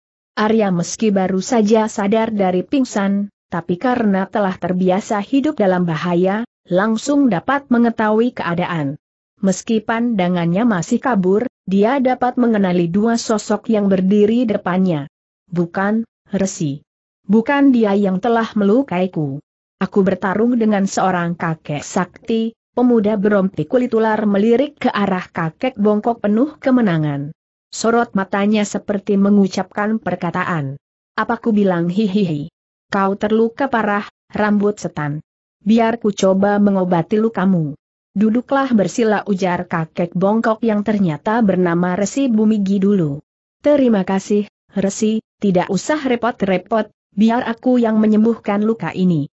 Tidak parah, kok, Dewa Arak lalu bangkit dan duduk bersila meski agak payah, untuk bersemadi. Resi Bumigi dulu tidak bisa berkata apa-apa selain mengangkat dua bahunya. Dia tidak memaksakan kehendak karena tahu Dewa Arak bersungguh-sungguh dengan penolakannya, bukan sekadar basa-basi belaka. Dibiarkan saja pemuda berambut putih keperakan itu melakukan hal yang ingin dikerjakan. Dan sebentar kemudian, Dewa Arak telah tenggelam dalam keheningan semadi untuk menggobati luka dalamnya. Resi Bumigi dulu menatap Dewa Arak sebentar, tapi kemudian mengalihkan perhatian pada pemuda berompi kulit ular. Siapa kau, manusia ular? Apakah kau pun di sini untuk memburu makhluk-makhluk J? Jadian tanya Resi Bumigi dulu, langsung tanpa basa-basi. Mulutnya cengengesan menatap pemuda itu. Panggil saja aku Dongga. Keberadaanku di sini untuk mencari pengalaman. Ke mana saja kakiku ini membawa ke situlah aku menuju, jawab pemuda berompi kulit ular, halus. Mencari pengalaman. Pengalaman tai kucing. Kau di sini tidak untuk mencari pengalaman. Untuk apa pengalaman? Aku di sini karena membawa sebuah tugas yang sebenarnya tidak kusukai. Tapi, karena ini masih tanggung jawabku, apa boleh buat, harus ku selesaikan juga, tugas, resi. Tugas apa barangkali saja aku dapat menyumbangkan tenaga dan kemampuanku yang tidak seberapa ini untuk meringankan tugasmu. Maaf kalau aku terlalu lancang, Resi, tentu saja tidak, manusia ular. Hihihi. Bahkan aku memang bermaksud menceritakannya padamu, sambut Resi Bumigi dulu tetap tidak memanggil pemuda itu dengan namanya. Aku sebenarnya sudah mundur dari rimba persilatan. Aku sudah jenuh, bosan. Kini, terpaksa harus keluar lagi dan terlibat dengan kekerasan, karena ingin mencari dan menangkap, serta kalau bisa melenyapkan murid murtadku dari muka bumi ini kalau dia masih melanjutkan kesesatannya seperti dulu, Resi Bumi dulu menghentikan ceritanya untuk melihat tanggapan Dongga. Barangkali saja pemuda berompi kulit ular itu hendak mengajukan sebuah perkataan. Namun, Dongga ternyata diam, tak menyela cerita kakek bongkok itu. Ia tidak berbicara apa pun, menunggu kelanjutan Cherry itu dengan sabar, sikap seorang pendengar yang baik. Dulu, hampir 30 tahun yang lalu aku terpaksa menyekap murid yang sangat kusayangi di sebuah pulau mengerikan. Pulau aneh yang tidak mungkin orang keluar dari tempat itu kecuali mengetahui rahasianya. Sebuah kebetulan, aku mengetahui rahasianya, dan muridku tidak. Hal itu terpaksa kulakukan, setelah muridku yang waktu itu berusia 25 tahun, tidak juga mau sadar dari kesesatan tindakannya. Mengacaukan dunia persilatan, bahkan dengan cara licik berani membuat tubuhku cacat. Kau lihat bongkokku ini akibat perbuatan muridku keji sekali muridmu itu, Resi Dongga mengeluarkan makian terhadap murid Resi Bumigi dulu, ketika kakek bongkok itu menghentikan ceritanya untuk mengambil napas. Hihihi. Dia memang bukan manusia lagi, manusia ular, tapi iblis. Itulah sebabnya aku khawatir sekali ketika menengok pulau itu satu purnama yang lalu, tidak aku lihat keberadaannya di sana. Malah aku melihat adanya tanda-tanda kalau dia telah pergi meninggalkan pulau hukuman itu. Maka, walau sudah tua, lewat seratus tahun usiaku, karena khawatir murid biadab itu melakukan tindakan kejinya, aku terpaksa turun gunung. Oh ya, Nama muridku itu Rawali. Kulitnya hitam kelam. Wajahnya khas karena mengingatkan orang akan wajah seekor burung elang. Bukan hanya karena dandanannya, tapi karena bentuk hidung dan sepasang matanya. Aku yakin akan mudah mencari orang dengan ciri-ciri seperti itu. Tapi sampai sekarang aku belum juga berhasil menemukan jejaknya. Aku jadi ragu, apakah muridku itu menempuh jalan yang berlainan dan ganku atau sebenarnya belum keluar dari pulau hukuman mungkin muridmu itu menempuh jalan yang berada jauh denganmu, Resi. Siapa tahu dia menempuh arah ke barat, sedangkan kau ke timur. Bagaimana mungkin kau bisa menemukan jejaknya? Lagi kau, maksudku, tahukah kau, Resi, kapan tepatnya muridmu itu telah tidak berada di pulau hukuman aku tidak tahu pasti, manusia ular, Resi Bumigi dulu mengangkat bahunya. Tapi, aku yakin tidak sampai setahun. Sebab, aku menengok tempat itu saja tahun sekali. Jadi, kemungkinannya paling lama hanya setahun dia lolos dari tempat itu. Meskipun demikian entah mengapa aku yakin sekali kalau Rawali pergi belum lama dari pulau itu. Paling lama hanya berseling beberapa hari, Dongga tidak sempat memberikan tanggapan lagi karena Arya telah menyelesaikan semadinya dan berjalan mendekati mereka berdua. Terlihat jelas kalau luka dalam pemuda berambut putih keperakan itu telah sembuh, karena wajahnya terlihat telah segar. Hanya saja tenaga Arya belum seluruhnya pulih seperti sedia kala. Arya masih memerlukan semadi lagi untuk membuat tenaga dalamnya penuh. Mengapa kau berada di sini? Resi Arya mengajukan pertanyaan tanpa berprasangka buruk, setelah terlebih dulu berkenalan dan berbasa basi dengan Dongga, dan menceritakan penyebabnya terluka. Hihihi. Meskipun tidak melihatnya, Kau tahu kalau sekarang Eyang Kendilaga telah menemukan jawaban bagi pertanyaanmu, Rambat Setan, jawab Bumi dulu, memberikan alasan keberadaannya di tempat ini. Memang, tiga orang ini mulanya telah saling pisah untuk melaksanakan kepentingan masing-masing. Lalu, bagaimana hasilnya? Resitanya Dewa Arak penuh rasa ingin tahu. Mengapa tidak kau temui si kurus itu dan bertanya padanya, rambut setan Resi Bumi dulu malah balas bertanya. Kau ikut, dongga ajak Arya sebelum pergi. Kalau kau tidak keberatan, Arya, tentu saja tidak jawab Arya cepat. Bukankah kita sekarang berkawan dongga si pemuda berompi kulit ular lesat mengikuti Dewa Arak dan Resi Bumi dulu. Semula Arya menahan-nahan kecepatan larinya, khawatir kalau dongga akan tertinggal jauh.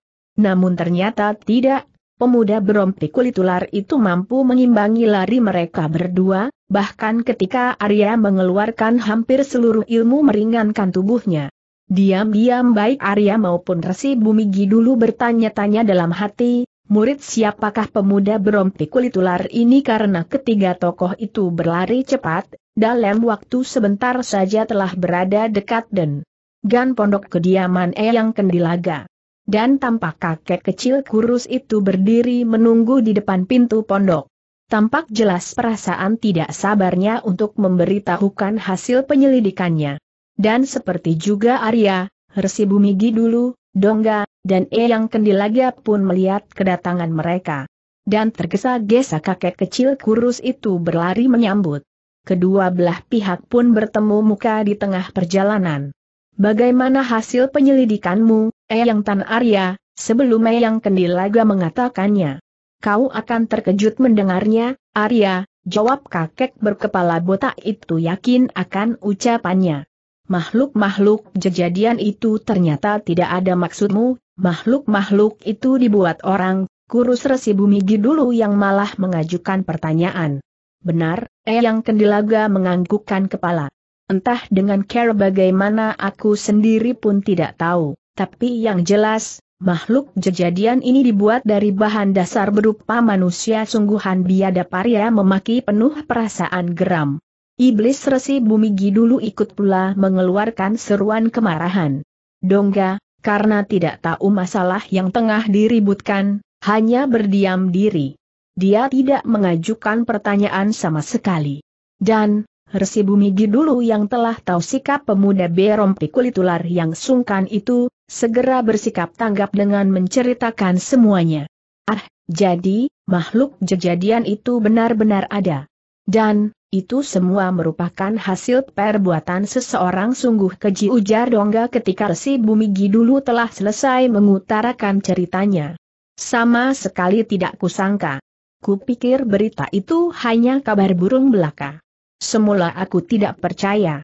Mana mungkin ada manusia harimau, manusia kera, atau yang lainnya kau sendiri, bagaimana hasilnya? Arya tanya Eyang Kendilaga ingin tahu. Belum, Eyang, kemudian secara jelas Arya menceritakan semua kejadian yang dialaminya. Mudah-mudahan saja kakek itu tidak bermaksud jahat terhadap Mawar, kau jangan terlalu yakin, Arya, Gumame yang kendilaga membuat Dewa Arak menoleh ke arahnya. Bisa kau ceritakan, maksudku, beritahukan ciri-ciri kakek yang telah membawa lari kawan baikmu itu. Aku khawatir kawanmu itu selamat dari mulut serigala tapi masuk dalam cengkeraman harimau, Arya tidak langsung menjawab pertanyaan itu. Dia tercenung dengan sepasang mata menetap ke angkasa. Pemuda berambut putih keperakan ini mencoba mengingat ciri-ciri kakek yang telah membawa Mawar pergi. Seorang kakek bertubuh jangkung, tingginya tak kurang dari satu setengah kali orang biasa. Wajahnya kehijauan. Hanya itu ciri-ciri khas orang itu yang dapat kuberitahukan padamu, Eyang. Apakah kau mengenalnya? Arya mengajukan pertanyaan demikian Karini melihat wajah Eyang Kendilaga berubah, menampakkan keterkejutan dan kekhawatiran. Kekhawatiranku ternyata beralasan, Arya, gumam Eyang Kendilaga, pahit. Ciri-ciri orang yang kau sebutkan padaku itu amat ku kenal. Aku pernah beberapa kali bertemu dengannya meskipun tidak pernah bentrok. Dia seorang tokoh hitam yang berwatak keji. Aku bukan bermaksud menakut-nakutimu, tapi aku yakin keselamatan kawanmu itu terancam siapa sebenarnya tokoh itu, kurus tanya Resi Bumigi dulu sebelum Maria mengajukan pertanyaan. Kakek bongkok ini mendengarkan percakapan Arya dan Eyang Kendilaga. Tampaknya dia merasa tertarik sehingga segera ikut campur dan mengajukan pertanyaan. Raja sihir pelenyap Sukma, jawab Eyang Kendilaga, singkatah seruan keterkejutan hampir bersamaan keluar dari mulut Arya, Resi Bumigi dulu, dan Dongga. Kau mengenalnya? Arya tanya Eyang Kendilaga, ingin tahu. Tidak, Eyang. Tapi nama besar dan kejahatan tokoh itu telah lama ku dengar. Ah, kasihan mawar wajah Dewa Arak mendadak berubah, mencemaskan keadaan kawannya. Apakah tidak mungkin bagi kita untuk menyelamatkannya, Dongga menyela pembicaraan mereka. Barangkali saja kita dapat bertindak cepat sebelum terjadi sesuatu atas diri Mawar, kemungkinan untuk menyelamatkannya merupakan sebuah hal yang sulit, Dongga. Bukan karena kita tidak mampu, tapi aku yakin kalau waktu tidak memungkinkan kita terkecuali kalau kita sudah lebih dulu mengetahui tempat kediaman Raja Sihir Pelenyap Sukma itu. Dongga mengangguk-anggukan kepala, dapat menyadari adanya kebenaran dalam ucapan Eyang Kendilaga yang menanggapi usulnya. Kalau benar demikian, kurasa kemungkinan itu terjadi besar, kurus sambut tersibumi dulu penuh semangat. Hal itu membuat wajah-wajah terutama sekali Arya yang sudah lesu setelah mendengar penuturan Eyang Kendilaga, jadi bercahaya karena mempunyai sedikit harapan. Apakah kau mempunyai care cepat untuk dapat menyelamatkan Mawar? Resi tanya Arya, cepat menyelamatkannya sih, aku tidak yakin, jawab Resi Bumigi dulu yang membuat dua wajah lain terutama Arya yang semula sudah berseri-seri jadi putus asa kembali. Bukankah, Si kurus itu hanya mengingatkan kalau kita mampu mengetahui tempat kediaman Raja Sihir Pelenyap Sukma, akan dapat menyelamatkan nyawa Mawar. Nah, aku mempunyai sebuah care untuk mengetahui tempat kediaman Raja Sihir Pelenyap Sukma secara cepat benarkah itu? Resi sambut Arya cepat dengan semangat yang mulai timbul kembali. Tentu saja jawab Resi Bumigi dulu, mantap. Tapi, apakah usahaku ini akan berarti bagi keselamatan nyawa kawanmu itu? Rambut setan mudah-mudahan saja sahut Arya. Kalau begitu aku bersedia. Tapi, aku tetap membutuhkan bantuan kalian semua. Siapa di antara kalian yang bersedia membantu? Tapi, sebelumnya perlu ku beritahukan bahwa caraku ini tidak wajar. Aku akan meminta bantuan pada roh-roh yang berada di sekitar tempat ini baik roh gentayangan maupun setan-setan yang berkeliaran. Bantuan yang dibutuhkan adalah kesediaan salah seorang di antara kalian untuk menjadi tempat dari roh yang akan dipanggil. Aku akan mengajukan pertanyaan pada roh-roh yang akan bersedia datang. Siapa di antara kalian yang bersedia aku saja, Resi? Biar bagaimanapun aku lebih bertanggung jawab atas keselamatan kawanku itu. Bukan karena aku mengecilkan arti Eyang Kendilaga ataupun Dongga, kalau begitu, bersiaplah, rambut setan. Kita akan memulainya, Dewa Arak melangkah mendekati tempat kakek bongkok itu berada. Sedangkan Dongga dan Eyang Kendilaga segera menjauh. Sementara itu Resi Bumigi dulu segera mengeluarkan perabotannya untuk memanggil roh-roh dimaksud dari buntalan kain yang ada di belakang punggungnya. Pedupaan, kemenyan, dan bubuk berwarna putih. Dupa yang telah diisi kemenyan diletakkan di tengah-tengah tempat pemanggilan roh. Sedangkan bubuk putih itu disebarkan mengelilingi tempatnya dan Arya berada membentuk persegi panjang cukup luas namaung lolong anjing hutan yang mengaum yang membuat suasana malam yang melingkupi hutan di bawah puncak gunung terasa semakin menyeramkan. Apalagi bulan penuh yang tampak di langit perlahan-lahan mulai tertutup awan hitam bergumpal-gumpal yang entah muncul dari mana. Dalam suasana mencekam seperti itu, sosok tubuh jangkung yang tak lain Raja Sihir Pelenyap Sukma melesat cepat dengan pengerahan ilmu larinya, sehingga bentuk tubuhnya lenyap dan yang terlihat hanya bayangan berkelebat dalam bentuk tidak jelas.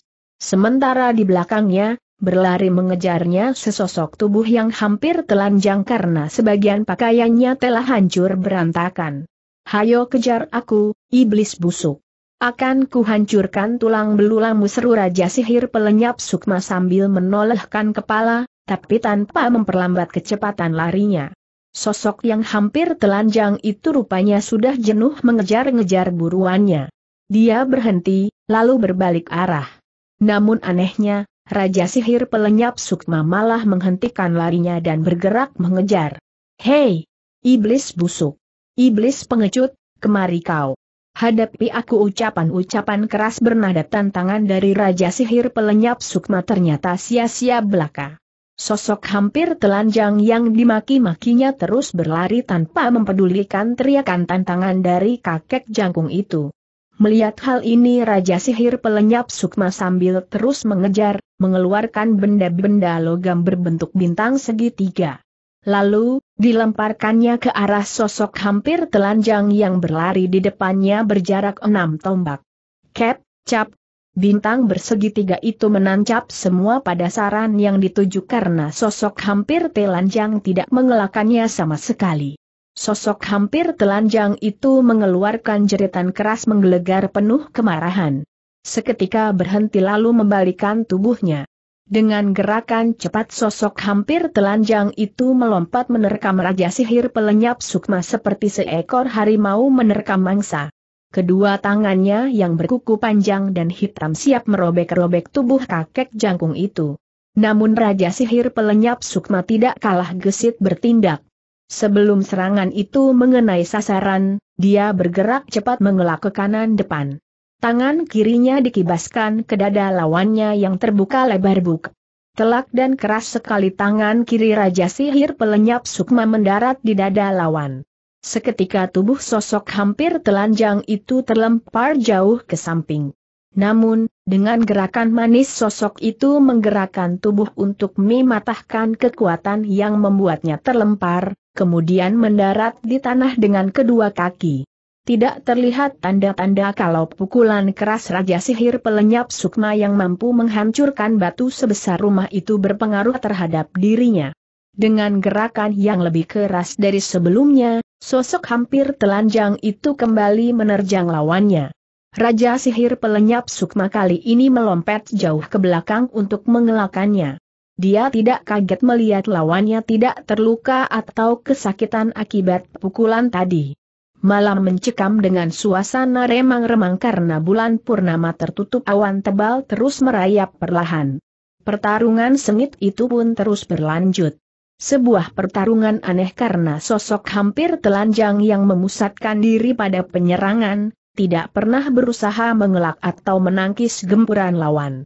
Berkali-kali serangan Raja Sihir pelenyap Sukma, baik berupa pukulan maupun tendangan bersarang di tubuhnya, namun hanya membuatnya terlempar jatuh untuk kemudian melakukan penyerangan lebih dahsyat. Serangan-serangan aneh karena dilakukan dengan gerakan kaku. Sepuluh jurus berlalu dan tidak terhitung sudah beberapa kali sosok berpakaian hampir telanjang itu terkena pukulan maupun tendangan dari Raja Sihir pelenyap Sukma. Namun kekuatan tubuhnya benar-benar luar biasa tak sedikit pun terlihat adanya tanda-tanda kalau serangan-serangan yang gencar mendarat pada sasaran itu berpengaruh atas dirinya. Raja sihir pelenyap Sukma sejak semula sadar, percuma menghadapi lawannya karena mengetahui keperkasaan dan ketangguhan sosok berpakaian hampir telanjang itu. Itulah sebabnya, pada jurus ke-12, ketika memperoleh kesempatan, dia segera melesat meninggalkan lawannya, setelah terlebih dahulu melempar tubuh ke belakang untuk menjauhkan diri. Sosok hampir telanjang tidak mau membiarkan lawan pergi begitu saja. Dia kembali melesat mengejarnya. Tak pelak lagi kejar mengejar yang kedua kalinya pun terjadi namun kali ini, Raja sihir pelenyap Sukma terus berlari tanpa mengucapkan kata-kata minantang. Dan cerdiknya, kakek jangkung ini menempuh tempat-tempat yang banyak dipenuhi. Semak-semak dan pepohonan, sehingga dalam waktu sebentar saja lawannya kehilangan jejak sosok berpakaian hampir telanjang itu menggeram penuh kemarahan ketika mengetahui buruannya lenyap. Meskipun demikian karena merasa amat penasaran, pengejaran terus dilakukan. Kerimbunan semak-semak dan pepohonan menjadi sasaran kemurkaannya. Semak-semak serta pepohonan itu porak-poranda ketika dia menghentakkan dan menyambar-nyambar tanggannya secara sembarangan sambil meraung-raung karena marah. Mendadak sosok hampir telanjang itu menolehkan kepala secara cepat ke samping kanannya. Pendengarannya yang tajam menangkap adanya bunyi gerakan dari arah itu. Maka dengan kecepatan kilat dia melesat ke sana astaga makhluk apa itu terdengar suara seruan dari mulut kakek kecil kurus yang merupakan salah satu dari empat sosok yang tengah berlari menerobos kerimbunan semak-semak dan pepohonan di dalam hutan ini. Tiga sosok lainnya adalah seorang kakek bongkok dan dua orang pemuda. Satu di antara pemuda itu mempunyai rambut berwarna putih keperakan. Pemuda berambut putih keperakan ini tak lain Arya. Sedangkan tiga sosok lainnya adalah Dongga, Resi Bumi Gidulu, dan Eyang Kendilaga.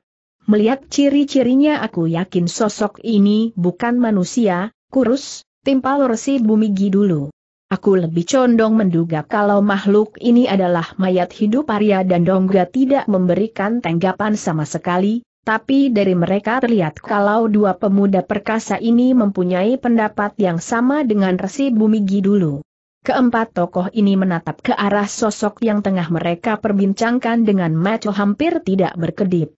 Sosok yang muncul secara tiba-tiba dari balik kerimbunan semak dan pepohonan sehingga membuat perjalanan mereka terhenti. Keempat orang ini tengah dalam perjalanan menuju tempat kediaman Raja Sihir Pelenyap Sukma, setelah berhasil menemukan tempat kediaman kakek jangkung itu lewat upacara pemanggilan roh. Dan keempat tokoh ini memang tidak berlebihan dengan pendapatnya. Sosok yang berdiri di hadapan mereka tampak kaget juga melihat keempatnya. Sosok itu memiliki ciri-ciri yang menggiriskan hari. Tubuhnya kurus kering seperti tidak memiliki daging, pakaian koyak-koyak membungkus tubuhnya. Sebuah pakaian yang telah lusuh dan rapuh karena ada bagian yang robek dan jatuh ke tanah ketika angin agak keras berhembus. Namun yang lebih meyakinkan Arya dan ketiga kawan seperjalanannya akan dugaan Resi Burngi dulu adalah ketika mencium bau tidak enak yang menyebar dari tubuh sosok hampir telanjang itu baik yang hanya keluar dari tubuh binatang atau manusia yang telah lama meninggal, bau bangkai. Arga setelah sesaat tertegun sosok kurus kering itu menggeram keras. Dia tertegun karena tidak menyangka kalau bunyi yang tadi didengarnya bukan yang ditimbulkan oleh langkah kaki Raja Sihir pelenyap Sukma. Sebelum gemas suara keras itu lenyap, sosok kurus kering telah melompat menerjang Eyang Kendilaga, yang berada paling depan. Kedua tangannya melancarkan totokan bertubi-tubi dengan menggunakan sebuah jari telunjuk. Bunyi mencicip nyaring mengiris pendengaran mengiring banyak serangan itu.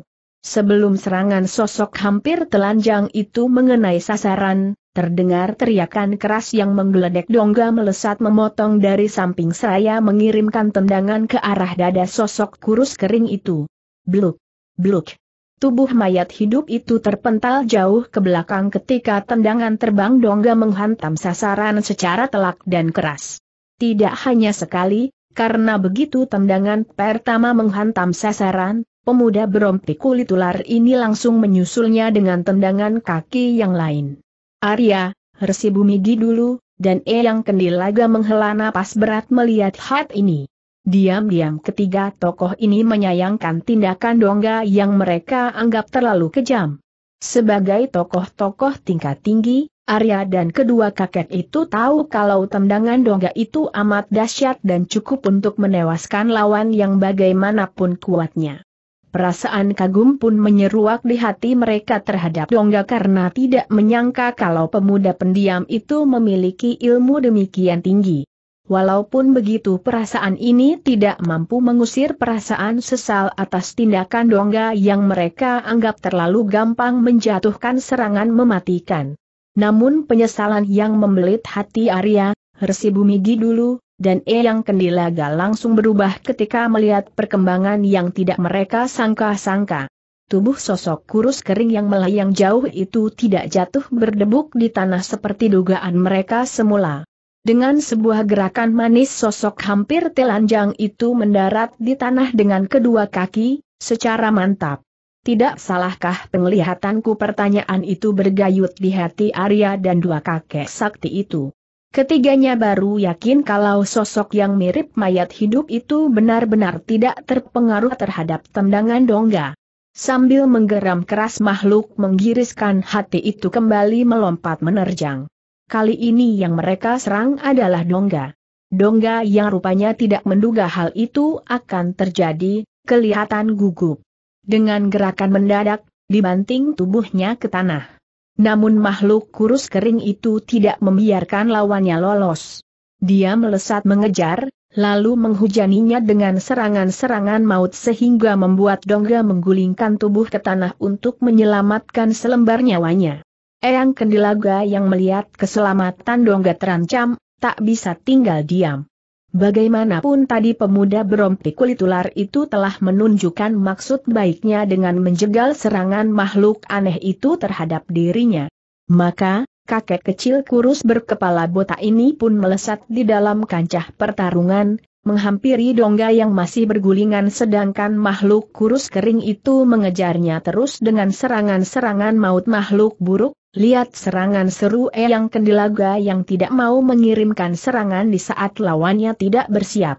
Kakek kecil kurus ini mengirimkan serangan dengan pengerahan seluruh tenaga dalamnya. Kedua tangannya yang terkepal keras dipukulkan susul menyusul ke arah punggung makhluk kurus kering itu. Ketika Dongga masih berada di tanah, makhluk kurus itu tidak membiarkan dirinya lolos. Makhluk itu melesat mengejar, lalu menghujaninya dengan serangan-serangan maut sehingga membuat Dongga menggulingkan tubuh ke tanah untuk menyelamatkan selembar nyawanya. Arga makhluk hampir telanjang yang mempunyai kekuatan tubuh luar biasa itu menggeram keras tubuhnya membalik kemudian memapak serangan Eyang Kendilaga juga dengan tangan terkepal. Tindakan ini membuat serangan terhadap Dongga dihentikan. Duk, duk, duk. Bunyi keras terdengar berkali-kali ketika dua tangan yang terkepal berbenturan secara keras. Dan setiap benturan membuat tubuh Eyang Kendilaga tergetar hebat dengan tangan terasa sakit-sakit. Bahkan benturan terakhir membuat tubuhnya terjengkang ke belakang. Kesempatan baik ini dipergunakan cepat oleh makhluk menyerupai mayat hidup itu untuk mengirimkan cengkeraman ke arah lambung dan ubun-ubun yang kendilaga. Cetar, RRRTTT. Sebelum ubun-ubun dan lambung yang kendilaga hancur oleh cengkeraman makhluk aneh itu, Resi Bumigi dulu, telah lebih dulu bertindak dengan cambuknya. Bunyi meledak keras mengiringi meluncurnya cambuk itu ke arah makhluk hampir telanjang itu dan secara telak menghantam ubun-ubunnya. Seketika itu pula tubuh makhluk menyerupai mayat hidup itu terjengkang ke belakang bagai diseruduk kerbau. Serangannya terhadap Eyang Kendilaga pun kandas di tengah jalan. Iblis Resi Bumi dulu sampai mengeluarkan seruan terkejut tanpa sadar ketika melihat makhluk hampir telanjang itu masih tetap tegar. Hantaman pada ubun-ubun yang merupakan tempat mematikan itu sama sekali tidak berpengaruh, kecuali hanya terjengkang ke belakang. Dan ketika pengaruh hantaman cambuk yang membuatnya terjengkang berhasil dipunahkan, makhluk kurus kering itu kembali melancarkan serangan dahsyat. Sasaran serangan makhluk berkekuatan tubuh luar biasa ini berpindah, tidak pada Eyang Kendilaga lagi, melainkan pada Resi Bumigi dulu. Mengetahui kekuatan luar biasa makhluk kurus kering itu, Eyang Kendilaga tidak tega membiarkan Resi Bumi dulu yang telah menyelamatkan nyawanya. Dia pun ikut campur. Maka, pertarungan yang lebih seru dari sebelumnya pun berlangsung. Makhluk kurus kering itu menghadapi Resi Bumi dulu dan Eyang Kendilaga. Dongga yang telah kembali menjauhi kancah pertarungan dan berdiri di sebelah Arya menyaksikan jalannya pertarungan dengan hati penuh takjub. Benarkah itu makhluk hidup? Tanya Arya masih belum percaya akan pandangan matanya. Apalagi, Arya sambut Dongga bernada membenarkan. Ciri-ciri dan kedahsyatannya telah menjadi bukti nyata kebenaran kalau dia memang makhluk hidup, Arya tidak memberikan tanggapan lagi, dalam hati dia membenarkan ucapan Dongga. Kini pandangan dan perhatiannya dipusatkan kembali ke arah pertarungan yang tengah berlangsung. Pemuda berambut putih keperakan ini tahu, lambat laun makhluk kurus kering itu pasti akan keluar sebagai pemenang. Kekuatan tubuhnya yang menakjubkan akan menyebabkannya berada di atas angin makhluk itu dengan berani menerima semua serangan Eyang Kendilaga dan Resi Bumigi dulu tanpa khawatir terluka. Sebaliknya, kedua kakek itu justru harus berhati-hati karena sekali saja terkena serangan, nyawa mereka akan terancam.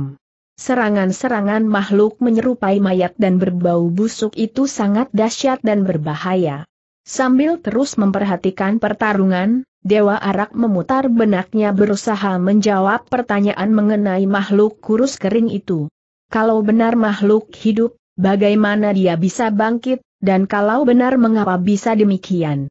Akal dan hati nuraninya menolak, mana mungkin mayat bisa hidup dan bangkit sendiri. Pasti ada orang yang membangkitkannya. Arya teguran Dongga membuat Dewa Arak menolehkan kepala ke arah pemuda berompi kulit ular yang berada di sebelahnya. Kurasa sebaiknya kita segera mendatangi tempat kediaman Raja Sihir Pelenyap Sukma. Tidakkah kau khawatir kalau tokoh sesat yang keji itu lebih dulu mencelakai temanmu Arya langsung memberikan jawaban, meskipun hatinya membenarkan usul Dongga. Namun dia merasa khawatir akan keselamatan Eyang Kendilaga dan Resi Bumigi dulu. Dia yakin lambat laun kedua kakek itu akan celaka di tangan mayat hidup yang menggiriskan itu, kecuali apabila mereka telah menemukan kelemahannya. Kurasa kau tidak perlu mengkhawatirkan keselamatan mereka, Arya, sambung Dongga, seperti mengetahui hati yang membuat pemuda berambut putih keperakan itu tidak langsung mengiyakan ajakannya. Mereka tokoh-tokoh sakti dan berpengalaman, aku yakin keduanya akan sadar dan menyelamatkan diri apabila tidak sanggup menghadapi mayat hidup itu, kau benar, Dongya kali ini Arya langsung sigap menyambut mari kita tinggalkan tempat ini. Ayang, Resi, aku teruskan maksud kita semula teriaknya kemudian. Setelah berkata demikian, Dewa Arak bersama Dongga melesat menuju tempat kediaman Raja Sihir Pelenyap Sukma. Namun baru beberapa langkah, keduanya saling pandang ketika melihat sosok jangkung tengah berlari searah dengan mereka. Sosok jangkung yang sudah pasti Raja Sihir Pelenyap Sukma itu berada di depan mereka dalam jarak sekitar 20 tombak. Sosok itu berlari dengan hati-hati. Itukah penculik kawanmu? Arya tanya dan meminta jawaban pasti. Dan ketika Dewa Arak menganggukkan kepala, pemuda berompi kulit ular ini segera menyambung, kalau begitu, lekas kita kejar. Aku yakin dia tengah menuju tempat kediamannya dan kau sendiri langsung menuju tempat kediamannya, Dongga tebak Arya yang telah bisa menduga arah pemikiran pemuda berompi kulit ular itu. Benar baiklah kalau demikian, Dongga. Aku sendiri sudah tidak sabar lagi untuk memberikan ganjaran dan kalau bisa mengirim nyawanya ke akhirat. Aku yakin makhluk-makhluk kejadian yang muncul di dunia persilatan ada hubungan dengannya. Bahkan aku mempunyai dugaan kalau Raja Sihir Pelenyap Sukma yang telah membuat makhluk dari mayat hidup itu. Mungkin untuk menghalangi pertolongan yang kita lakukan terhadap Mawar. Tapi ku sarankan kau hati-hati, dong enggak. Bukan tidak mungkin kalau Raja Sihir Pelenyap Sukma telah mengetahui maksud kita usai berkata demikian, Arya melesat dengan pengerahan seluruh ilmu meringankan tubuhnya. Dalam waktu sekejap dia telah berada di belakang kakek bertubuh jangkung itu. Mau lari ke mana kau? Iblis keji Dewa Arak melompat ke atas melewati kepala Raja Sihir Pelenyap Sukma, bersalto beberapa kali di udara, dan mendarat dengan mantap di depannya. Lagi-lagi kau desis kakek jangkung yang ternyata Raja Sihir Pelenyap Sukma. Selalu saja kau yang menghalangi maksudku, orang usilan. Menyingkirlah, sebelum kau menyesal aku akan lebih menyesal lagi kalau membiarkan orang sepertimu terus berkeliaran di dunia ini tanda Saria, mantap. Menyingkirlah, anak muda. Aku tak ada waktu meladeni bocah ingusan sepertimu. Cepat beri aku jalan sebelum semuanya terlambat sayang sekali, aku tidak bisa memenuhi permintaanmu itu. Kau hanya dapat pergi dari sini jika mampu membunuhku, kau mencari penyakit Wut. Bersamaan dengan keluarnya ucapan itu, Raja Sihir Pelenyap Sukma mengirimkan serangan dengan tusukan sebuah benda yang diambil dari pinggang kanannya. Gerakannya sangat cepat sehingga bentuk benda itu tidak tampak jelas bahkan ketika meluncur ke arah Dewa Arak. Meskipun demikian, sepasang mata pendekar muda itu mampu mengetahui kalau benda yang mengancamnya ternyata sebuah kipas yang ujung-ujungnya runcing dan tajam. Deru anginnya saja mungkin mampu merobek pakaian jika terkena. Dewa Arak tentu saja tidak membiarkan kipas itu merobek dadanya. Dia melompat ke belakang, tapi Raja Sihir Pelenyap Sukma tidak membiarkan tindakan pemuda berambut putih keperakan itu. Dia melancarkan serangan susulan cepat dengan sebuah kebutan kipas ke arah wajah. Kipas itu dikembangkan. Namun Raja Sihir Pelenyap Sukma terlalu memandang rendah, hingga mengira dengan serangan susulan dahsyat itu Dewa Arak akan dapat dirobohkannya. Meskipun serangan itu meluncur secara tiba-tiba, Dewa Arak mampu mengelakkannya dengan merendahkan tubuh. Bahkan pemuda itu dapat mengirimkan serangan yang membuat lawannya melompat mundur. Untuk yang kedua kalinya pertarungan antara Dewa Arak dengan Raja Sihir Pelenyap Sukma terjadi. Hanya saja kali ini, kakek jangkung itu menggunakan kipas baja yang merupakan senjata andalannya. Arya pun mengeluarkan ilmu belalang sakti, yang menjadi penyebab julukan Dewa Arak menggemparkan dunia persilatan. Raja sihir pelenyap Sukma menggertakkan gigi, merasa geram karena kecelik.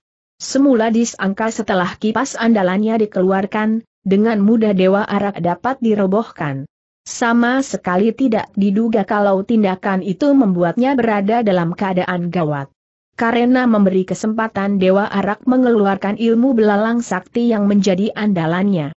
Dan begitu Dewa Arak menggunakan guci araknya terasa oleh kakek jangkung betapa dahsyat ilmu yang dimiliki pendekar muda itu. Setiap serangan kipasnya selalu berhasil dikandaskan, sebaliknya serangan-serangan lawan begitu dahsyat dan penuh tekanan, tak ubahnya hantaman gelombang laut tujuh buk.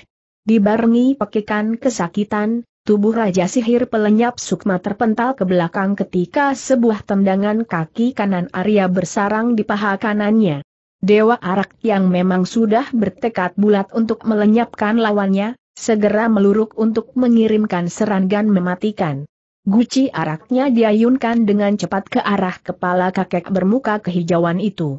Tahan ayunan guci itu terhenti di tengah jalan ketika Raja Sihir Pelenyap Sukma mengeluarkan teriakan keras sambil melempar kipas di tangannya. Dewa Arak tidak bisa membunuh lawan yang tidak bersedia melawan lagi, karena tindakan itu bukan sifat seorang pendekar sejati. Apa maksudmu, Raja Sihir bentak Arya, keras. Tangan kanannya masih menegang, dan siap mengayunkan guci apabila kakek jangkung itu melakukan tindakan yang mencurigakan.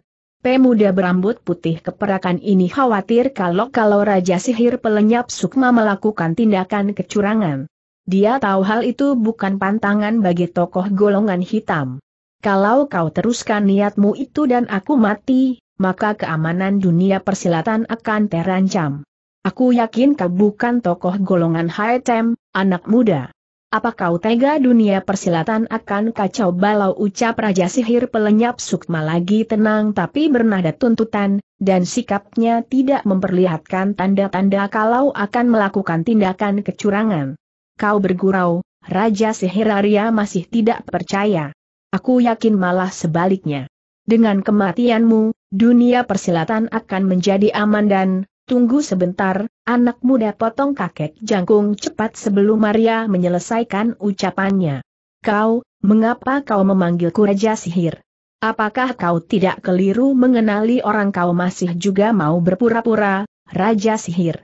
Ataukah, kau ingin memungkiri bahwa dirimu berjuluk Raja Sihir Pelenyap Sukma Sahut Arya, langsung mengajukan dugaan. Kau, kau gila, anak muda sergah kakek jangkung sambil menudingkan tangan kanannya. Kau memaksakan diriku untuk mengakui julukan yang bukan milikku. Lalu apa maksudmu, anak muda?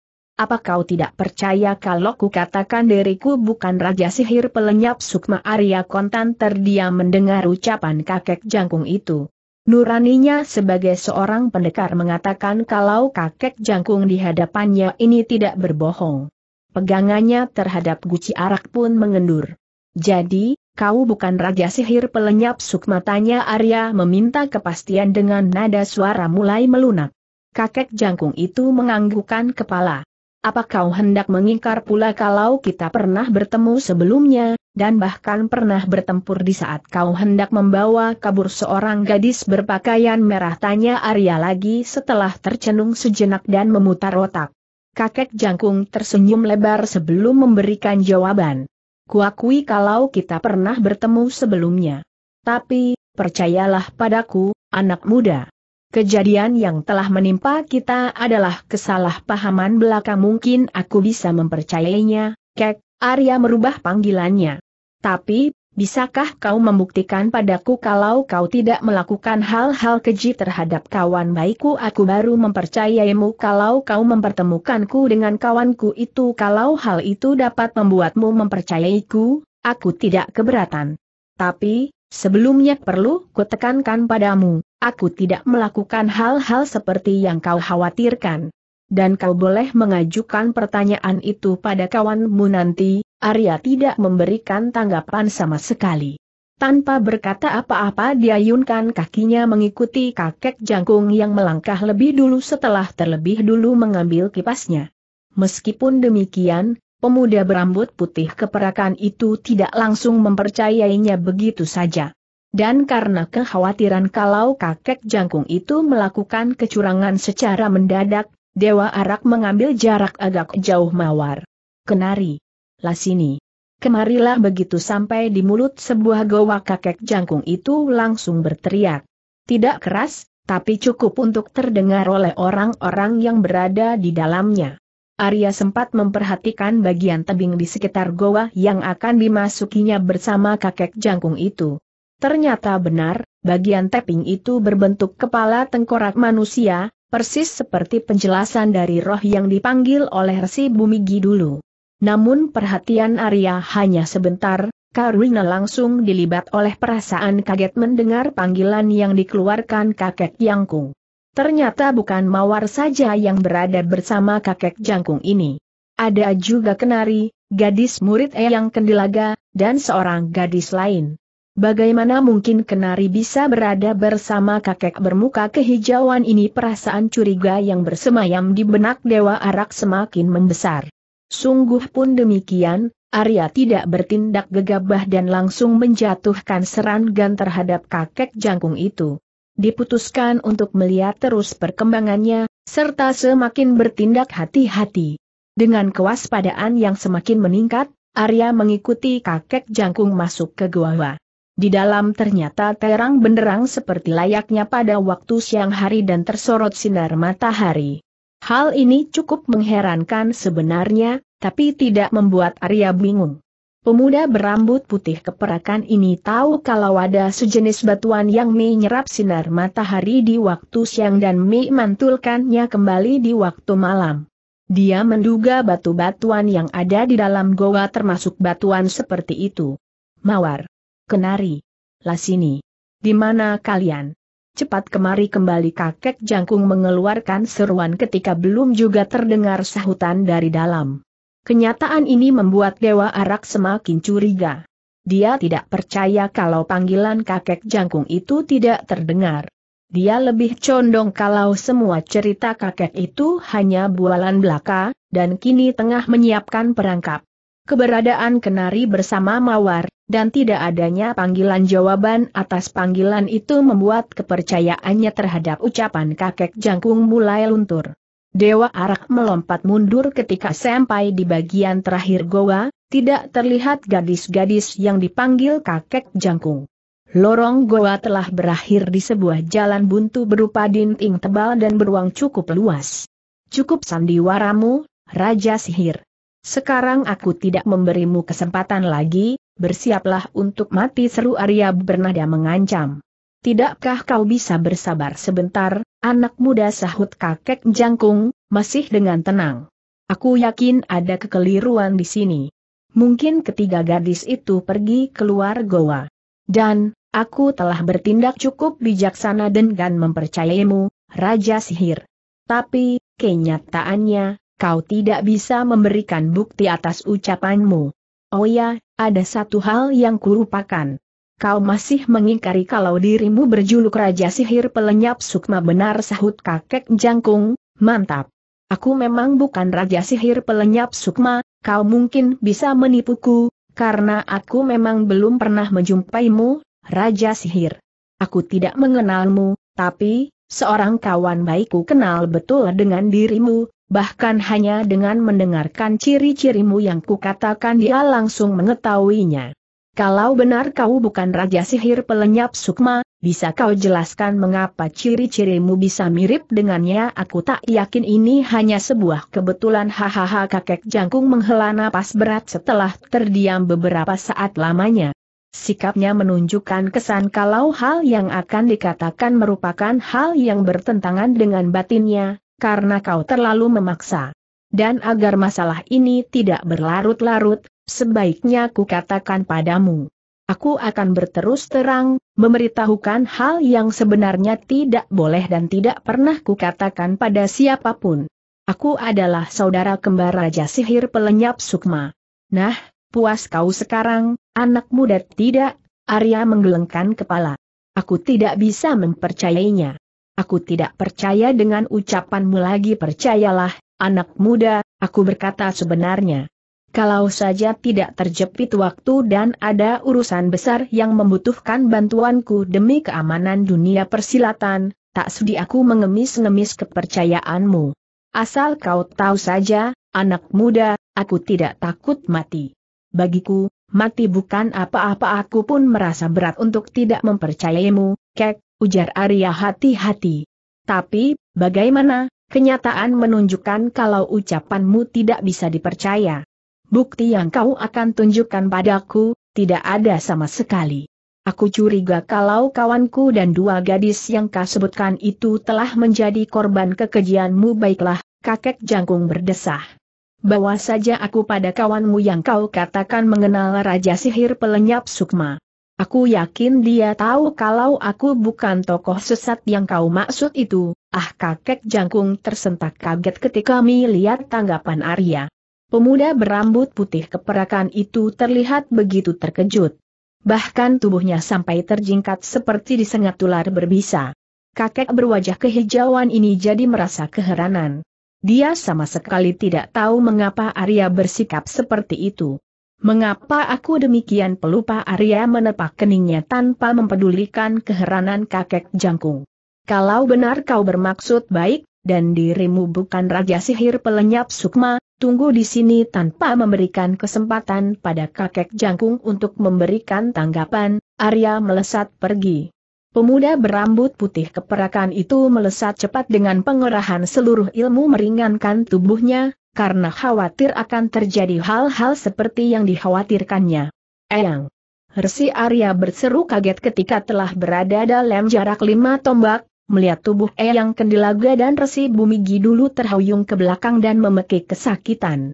Sesaat kemudian kedua kakek itu siap melancarkan serangan secara bersamaan. Resi Bumigi dulu mengirimkan serangan cambuk ke arah mata. Sedangkan Eyang Kendilaga menusukkan tombak pendek ke punggung lawan tangguhnya setelah terlebih dulu meludahi tombak itu dan menggurat-guratkannya ke tanah. Arya yang bermata tajam melihat kalau gerakan kedua kakek itu sudah tidak segesit sebelumnya. Dia tahu kalau Eyang Kendilaga dan Resi Bumigi dulu telah kelelahan, dan bahkan bukan tidak mungkin kalau mereka telah terluka. Sambil terus berlari mendekati, pandangannya tetap ditujukan ke tempat pertarungan. Arga makhluk kurus kering menggeram keras melihat serangan yang datang dari dua jurusan itu. Namun seperti sebelumnya, Sosok yang memiliki kekuatan tubuh menakjubkan itu tidak tampak gentar melihat serangan-serangan yang tertuju ke arahnya. Tanpa menggeser tubuh dari kedudukan semula, tangan kanannya diulur. Pada saat yang bersamaan kaki kanannya menendang ke belakang, seperti layaknya seekor kuda menyepak. Tap, duk. Hampir bersamaan serangan cambuk dan tombak itu berhasil dipunahkan. Ujung cambuk dicengkeram dengan tangan kanan, sedangkan tombak dibiarkan menghantam punggung, tapi tidak menimbulkan luka sama sekali. Kedua kakek rekan seperjalanan Dewa Arak ini tampak kaget ketika melihat untuk kesekian kalinya usaha mereka kandas. Dan sebelum Eyang Kendilaga dan Resi Bumigi dulu sempat berbuat sesuatu. Krat, buk.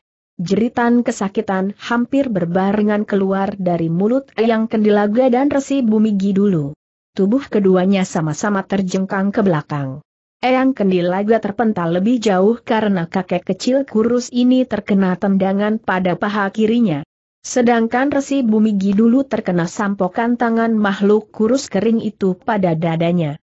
Kakek bongkok ini menggalami nasib demikian karena setelah cambuknya tertangkap langsung disentakan hingga tubuh Resi Bumigi dulu ikut tertarik, dan saat itulah tangan kiri makhluk menyerupai mayat hidup itu merobek dadanya. Kesempatan baik itu tidak disia-siakan makhluk mayat hidup. Sambil mengeluarkan geraman mengerikan, dia melompat menerkam tubuh Resi Bumigi dulu yang tengah terhuyung-huyung. Seketika wajah kakek bongkok bertanggan satu itu memucat, menyadari maut yang tenggah meluruk ke arahnya. Namun sebelum kuku-kuku jari makhluk kurus kering itu merencah tubuh Resi Bumigi dulu, Dewa Arak melesat menyambar tubuhnya. Arga makhluk aneh itu menggeram penuh kemurkaan ketika melihat calon korbannya terlepas dari maut. Tentu saja dia tidak bodoh untuk mengetahui ada orang yang telah menyelamatkan Resi Bumigi dulu. Bergegas kepalanya menoleh saat melihat melesatnya Dewa Arak. Tampaklah bayangan ungu berkelebat cepat sekali. Geraman keras penuh kemarahan kembali terdengar dari mulutnya ketika melihat sosok Ungu itu melesat ke arah tubuh Eyang Kendilaga yang tengah terhuyung dan menyambarnya. Kemudian dengan gerakan secepat kilat membawa keduanya melesat kabur dari situ. Makhluk menyerupai mayat itu bergegas mengejar. Namun lagi-lagi usahanya kandas. Dewa Arak ternyata memiliki kecerdikan mengagumkan. Dia tahu kalau makhluk itu memiliki ilmu lari cepat yang juga luar biasa, maka merupakan sebuah tindakan berbahaya kalau untuk berlari di tempat terbuka dengan beban yang cukup berat itu. Dewa Arak memilih tempat yang banyak memungkinkan untuk menghilangkan jejak dia terus melesat menembus semak-semak dan pepohonan. Arya tersenyum lega dalam hati ketika mendengar teriakan geram itu sangat jauh, karena kehilangan jejaknya. Namun pemuda berambut putih keperakan ini tidak berpuas diri, melainkan terus berlari untuk menjauhi lawannya. Lebih baik kau turunkan aku, Arya. Aku bisa berlari sendiri, pinta Eyang Kendilaga ketika suara geraman makhluk aneh itu sudah tidak terdengar lagi. Aku juga demikian, rambut setan, resi bumi, Gidulu menyambung.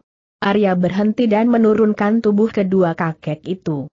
Bagaimana hasil usahamu? Arya tanya Eyang Kendilaga, setelah merapikan pakaiannya yang terbuka di sana-sini karena dipanggul Arya. Aku bertugas menghadang perjalanan Raja Sihir Pelenyap Sukma, sedangkan Dongga mendapat bagian untuk menyelamatkan kawanku. Arya langsung menceritakan semua yang dialami, sampai dia berhasil menolong Eyang Kendilaga, dan Resi Bumigi dulu. Sekarang aku ingat, Resi, Eyang, mungkinkah lenyapnya mawar dan lain-lain dari dalam goa itu karena telah ditolong oleh Dongga tapi, kalau benar demikian, mengapa pemuda itu tidak memberi kabar yang Kendilaga dan Resi Bumi dulu mengernyitkan kening, berpikir keras.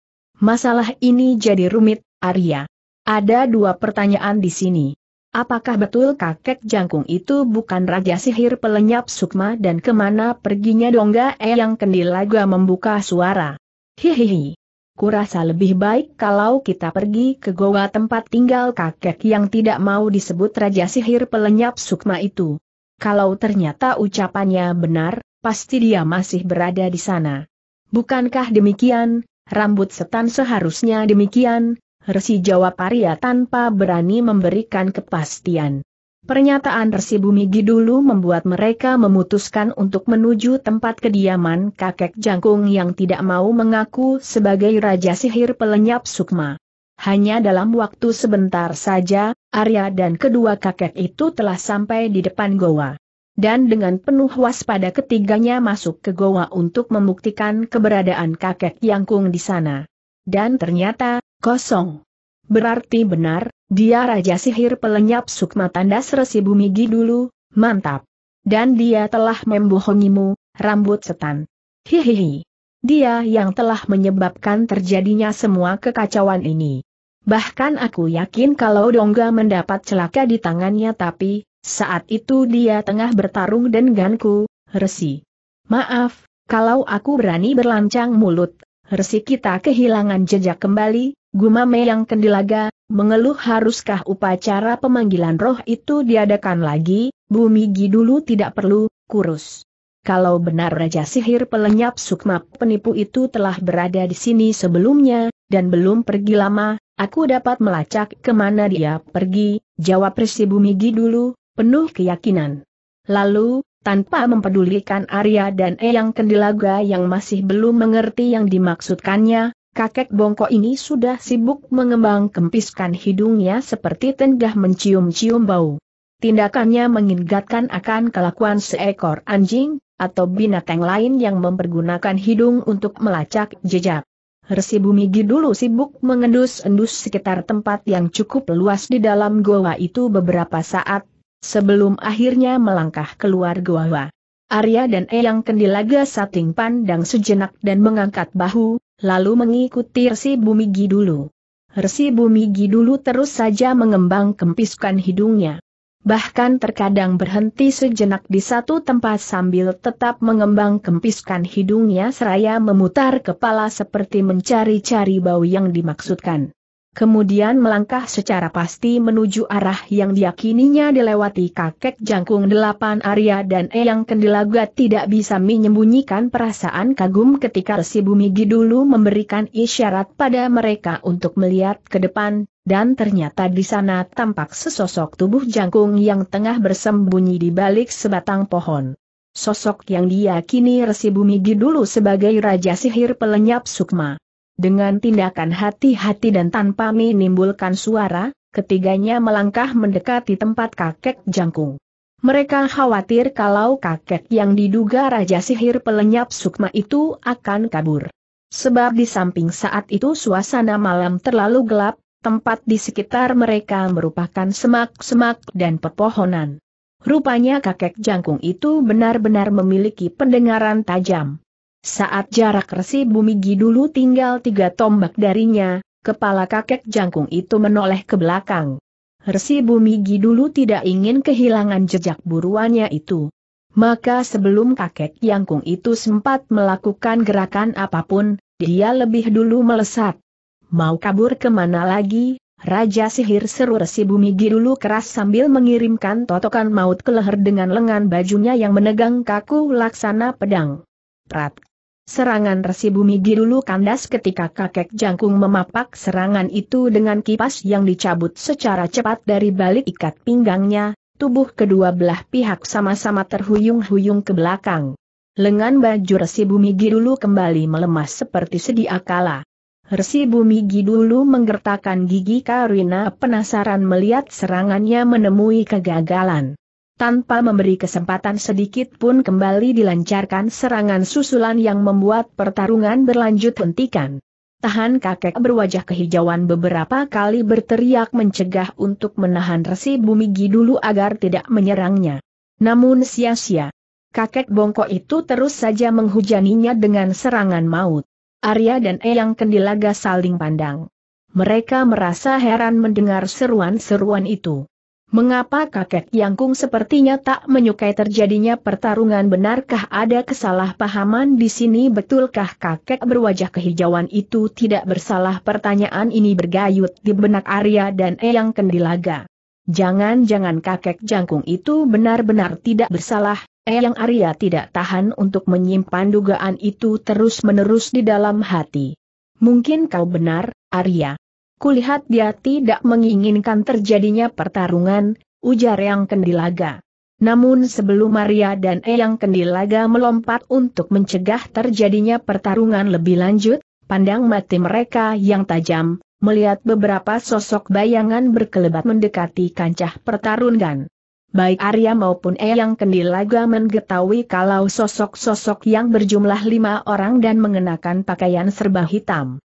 Karina ingin mengetahui hal yang akan mereka lakukan, Arya dan Eyang Kendilaga menghentikan tindakan mereka dan memperhatikan lima lelaki berpakaian hitam itu ternyata berhenti sekitar tujuh tombak dari tempat pertarungan. Mereka langsung menyelinap di balik pepohonan. Apa yang hendak mereka lakukan tanya Arya dan Eyang Kendilaga dalam hati. Lima lelaki berpakaian hitam itu lalu mengeluarkan benda-benda berkilat yang ternyata senjata tajam berupa pisau. Kemudian masing-masing sosok melemparkannya ke arah kancah pertarungan. Bunyi berdesing langsung terdengar di antara teriakan-teriakan kedua kakek yang sedang bertarung. Arya dan Eyang Kendi. Laga terkejut ketika mengetahui arah pisau-pisau itu tertuju pada Resi Bumigi dulu. Hal ini menjadi pertanda kalau lima lelaki berpakaian hitam berada di pihak kakek jangkung. Resi Bumigi dulu jadi kelabakan, karena dirinya tengah memusatkan seluruh perhatian untuk menghadapi kakek jangkung. Dan celakanya, serangan-serangan pisau itu berlangsung berkali-kali. Sehingga dalam sekejapan saja Resi Bumigi dulu jadi terdesak hibat oleh lawannya, melihat kenyataan ini Arya dan Eyang Kendilaga tahu kalau dibiarkan terus Resi Bumigi dulu akan celaka di tangan lawan. Sebab, kakek jangkung yang semula berteriak-teriak untuk mencegah Resi Bumigi dulu menyerangnya, malah melancarkan tekanan-tekanan hebat yang membahayakan. Hal ini membuat Arya dan Eyang Kendilaga tidak segan-segan lagi mengambil tindakan guna menyelamatkan Resi Bumigi dulu. Sudah terbukti kalau kakek jangkung mempunyai hubungan dengan lima lelaki berpakaian hitam itu. Baru saja Arya dan Eyang Kendilaga miluruk ke dalam kancah pertarungan, dari arah berlawanan muncul sosok-sosok yang amat mereka kenal makhluk-makhluk kejadian yang menurut penyelidikan Eyang Kendilaga merupakan hasil pekerjaan manusia. Sambil mengeluarkan geraman-geraman khasnya, beberapa sosok makhluk yang terdiri dari campuran antara manusia dengan harimau, kera, badak, beruang, dan lain-lainnya menyambet kedatangan Dewa Arak dan Eyang Kendilaga. Hal ini membuat pertarungan lain terjadi berbareng dengan munculnya makhluk-makhluk kejadian itu, lima lelaki berpakaian hitam menghentikan bantuan mereka terhadap kakek jangkung. Bahkan kemudian melesat meninggalkan tempat itu. Resi Bumigi dulu yang semula terdesak hebat perlahan-lahan dapat menyusun kekuatan lagi, sehingga mampu bangkit mengimbangi perlawanan. Di tempat lain, Dewa Arak dan Eyang Ken Dilaga tampak sibuk. Hanya saja tindakan kedua orang ini tidak sekeras sebelumnya. Baik Arya maupun Eyang Kendilaga tidak berusaha mengirimkan serangan yang dapat membahayakan keselamatan lawan-lawan mereka. Serangan-serangan yang mereka kirimkan hanya bertujuan merobohkan makhluk-makhluk kejadian itu, tanpa harus membunuh mereka. Tindakan ini dilakukan karena mengetahui kalau makhluk-makhluk kejadian itu berasal dari manusia. Semua melakukan penyerangan karena pengaruh jahat yang mengendalikan mereka. Tentu saja niat Arya dan Eyang Kendilaga membuat mereka semakin sulit untuk mengalahkan makhluk-makhluk kejadian itu.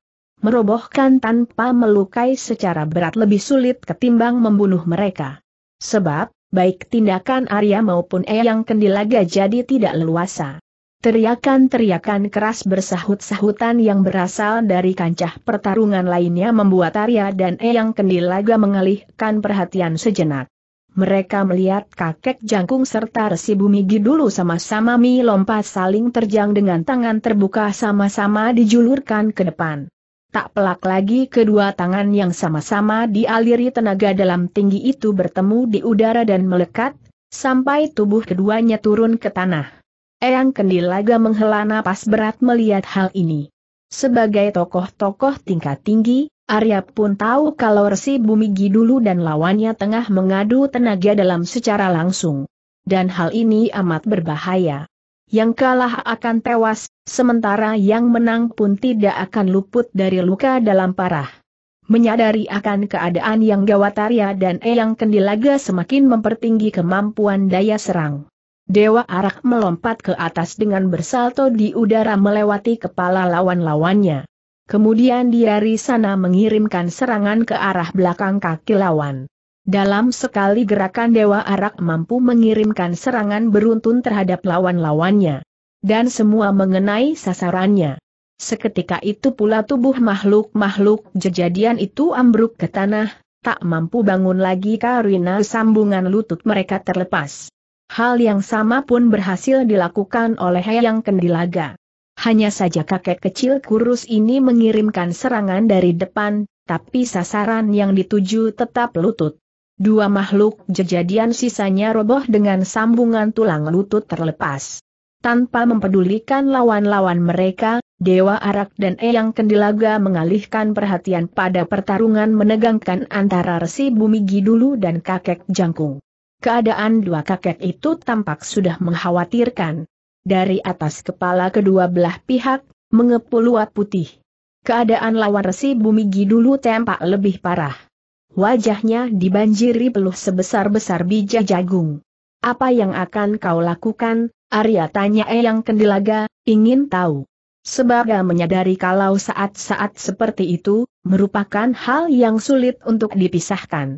Orang yang mencoba memisahkan dua tenaga dalam akan tewas dengan sekujur tubuh hancur, karena terkena gabungan tenaga dalam yang tengah menyatu.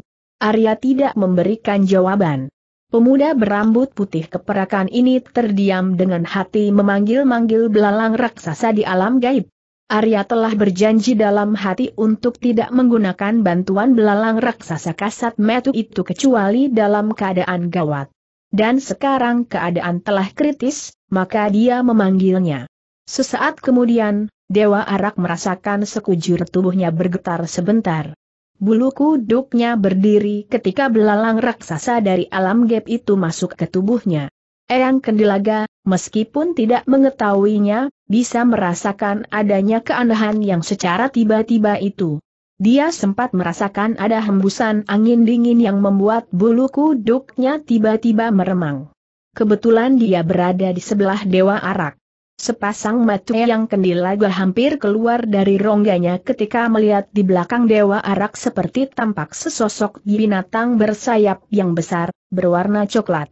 Sosok binatang menyerupai belalang raksasa itu hanya tampak samar-samar dan berupa bayangan.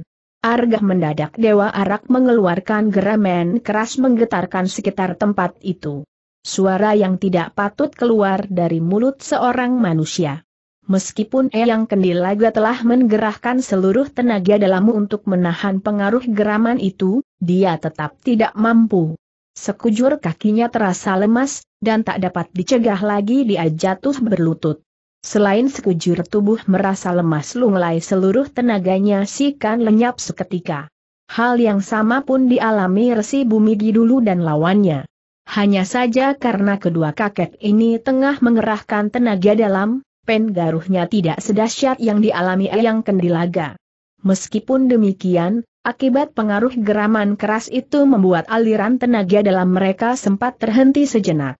Kesempatan di saat aliran tenaga dalam kedua kakek itu terhenti, dipergunakan sebaik-baiknya oleh Dewa Arak. Dengan kecepatan luar biasa pemuda berambut putih keperakan itu melesat ke dalam kancah pertarungan. Dan di saat tubuhnya masih berada di udara, kedua tangannya dihentak-hentakan. Angin dahsyat pun muncul dari tangan Dewa Arak, menghempaskan tubuh kedua kakek yang tengah bertarung, hingga terpental dan terguling-guling. Begitu kekuatan yang membuat tubuh mereka terguling-guling habis, Resi Bumi Gidulu dan kakek Jangkung merangkak bangun. Keduanya tampak lemas sekali. Gerakan mereka tidak sigap ataupun gesit seperti semula. Baik tenaga Resi Bumi Gidulu maupun lawannya telah terkuras habis. Di tempat yang sama, hanya berbeda jarak sekitar lima tombak, Eyang Kendilaga pun tampak tertunduk lesu. Kakek kecil kurus ini masih berdiri dengan kedua lututnya. dia masih tidak bergairah untuk bangkit karena belum mampu menghilangkan perasaan kagetnya akibat teriakan Dewa Arak. Sementara tokoh yang menjadi penyebab semua ini pun terdiam tapi dengan senyum puas tersungging di bibir. Saat itu belalang raksasa telah keluar dari dalam dirinya. Karena masing-masing tokoh terdiam, suasana berubah hening. Mendadak. Akar gegeraman yang tidak kalah dahsyat dengan suara Dewa Arak tadi, kembali terdengar. Bunyi geraman ini pun berbeda, meskipun sama-sama mengandung getaran yang dapat melumpuhkan lawan. Hal ini membuat tokoh-tokoh di tempat itu, yang masih terpengaruh oleh teriakan Arya, jadi kembali lemas. Arya satu-satunya orang yang semula berdiri tegak pun, merasakan kedua kakinya menggigil. Namun dengan pengerahan tenaga dalam dia berhasil membuat kedua kakinya tetap berdiri tegak di atas tanah. Hak-hak-hak sebelum gema geraman keras tadi lenyap seluruhnya, terdengar suara tawa keras tergelak bernada aneh, sehingga membuat Arya dan yang lainnya kecuali kakek jangkung, merasa heran. Wajah kakek jangkung tampak pucat pasiah. Celaka.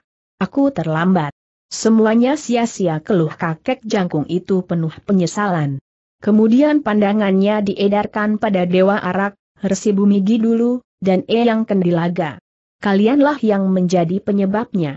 Kalau kalian tidak terlalu keras kepala memaksakan kehendak, dan mau mengerti sedikit, hal ini tidak akan terjadi.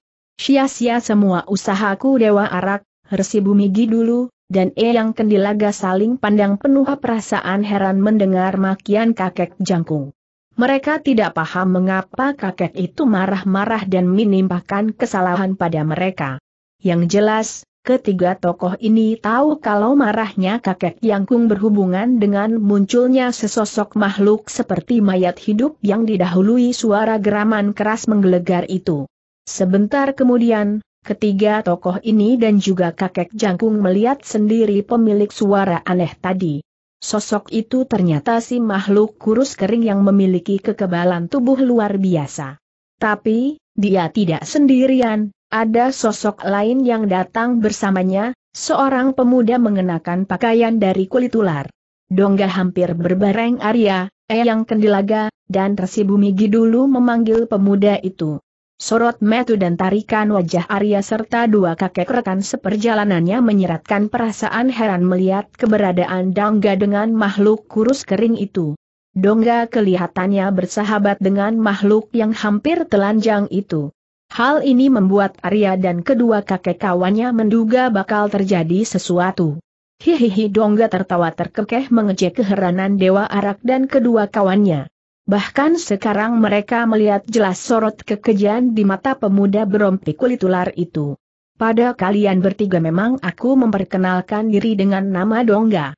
Masalahnya kalau ku perkenalkan nama asliku, jangan-jangan kalian terutama sekali kakek buntung itu akan mengenalku, ucap Dongga dengan tenang sambil menuding Resi Bumigi dulu.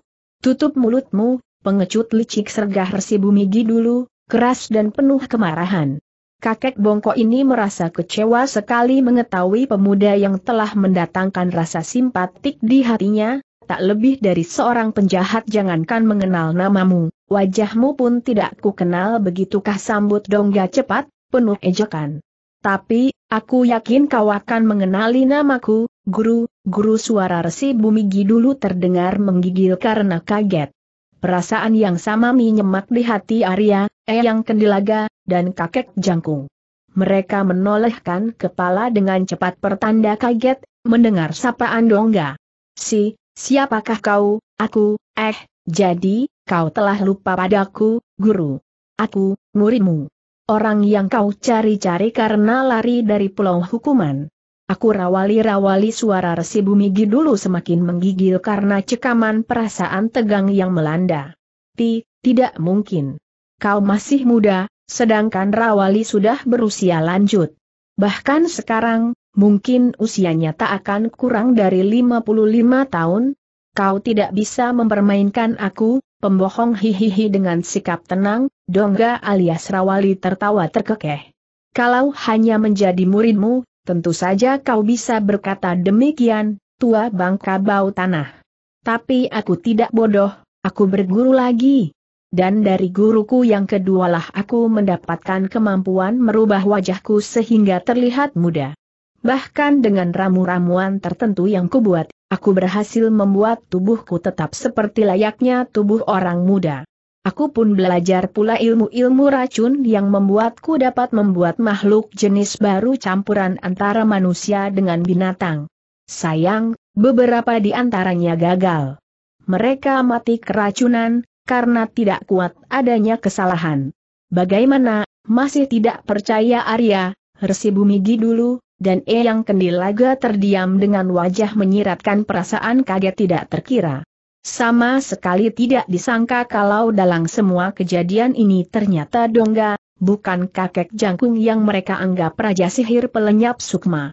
Aku tahu ramuan-ramuan yang kau maksud, rawali sela Arya dengan suara keras. Wanita-wanita itu bukan tepat. Tapi masih kurang tertuju, Dewa Arak jawab Dongga atau Rawali sambil menganggukkan kepala. Tepatnya adalah wanita-wanita yang masih gadis. Tapi, Sayang dua kali pengambilan yang dilakukan anak buahku dijegal oleh kakek sialan itu Dongga alias Rawali menuding kakek jangkung. Namun kakek itu bodoh. Begitu wanita culikan anak buahku yang pertama berhasil dirampasnya, aku segera membuat cibakan. Kusuruh anak buahku menculik wanita tapi bukan perawan, karena aku yakin akan dirampas kembali. Aku melihat kakek dungu itu mengintai tindak tanduk anak buahku. Dan memang, kakek bodoh itu tertipu. Wanita yang bukan gadis diambil juga. Padahal, aku tahu pasti kalau dia tengah melakukan sebuah perbuatan yang membutuhkan wanita-wanita yang masih gadis. Dia tertipu Arya, Eyang Kendilaga, dan Resi Bumidi dulu menatap kakek jangkung. Jadi, kakek Yangkung itu pun menculiki gadis-gadis untuk melakukan suatu percobaan berarti sama bejatnya dengan Rawali. Tutup mulutmu yang kotor itu, Rawali maki kakek Jangkung kalap. Jangan samakan tindakanku dengan perbuatanmu. Kau menculiki gadis untuk obat awet mudamu dan juga makhluk-makhluk jejadianmu. Gadis-gadis itu kau bunuh setelah kau pergunakan. Sedangkan aku hanya membutuhkannya untuk melenyapkan terjadinya angkara murka di dunia persilatan, dan gadis-gadis itu tidak kurang suatu apa. Mereka tetap masih gadis, dan sehat. Malah mereka membantuku dengan sukarela sebentar, Rawali selak resi Bumigi dulu untuk menghentikan pertengkaran antara Rawali dengan kakek Jangkung. Aku yakin, kau lolos dari pulau hukuman belum lama. Bahkan aku yakin tidak sampai sebulan sebelum kedatanganku yang terakhir. Bagaimana mungkin dalam waktu singkat kau dapat bertemu dengan seorang guru dan belajar ilmu-ilmu sesat itu serta menguasainya kau memang tolol, bumi Gio itu enak saja Rawali memaki gurunya. Tentu saja aku mempelajarinya di pulau hukuman. Karena aku menemukan guru kedua itu di pulau hukuman dan beberapa hari sebelum kau datang menjenguk aku telah tamat belajar dan langsung meninggalkan pulau. Sungguh kebetulan guru keduaku tahu jalan keluar dari pulau. Dialah yang menuntunku keluar. Sayangnya, guru keduaku mempunyai watak seperti kau juga, lemas. Keberadaannya di pulau itu justru sengaja dan menghukum diri karena menyesali atas dosa-dosa yang dilakukannya belasan tahun lalu keluarnya dari pulau hanya karena ingin menolongku. Ketika timbul rasa khawatir akan menjadi penghalangku di kemudian hari akhirnya di aku bunuh biadab seru Eyang Kendilaga, dan Resi Bumigi dulu, serta kakek Jangkung, hampir bersamaan. Sementara Dewa Arak menggeleng-gelengkan kepala keparat, Rawali. Kau harus mengganti dengan nyawamu atas tindakan kejimu terhadap saudara kembarku itu seru kakek Jangkung penuh kemarahan. Kalau saja tidak dalam keadaan payah, tentu sudah diterjangnya pemuda berompi kulit ular itu. Ah, jadi Raja Sihir pelenyap Sukma itu saudara kembarmu, kakek dungu. Aku memang sudah merasa heran sejak semula melihat kemiripan wajahmu dengan guru keduaku yang bodoh juga itu.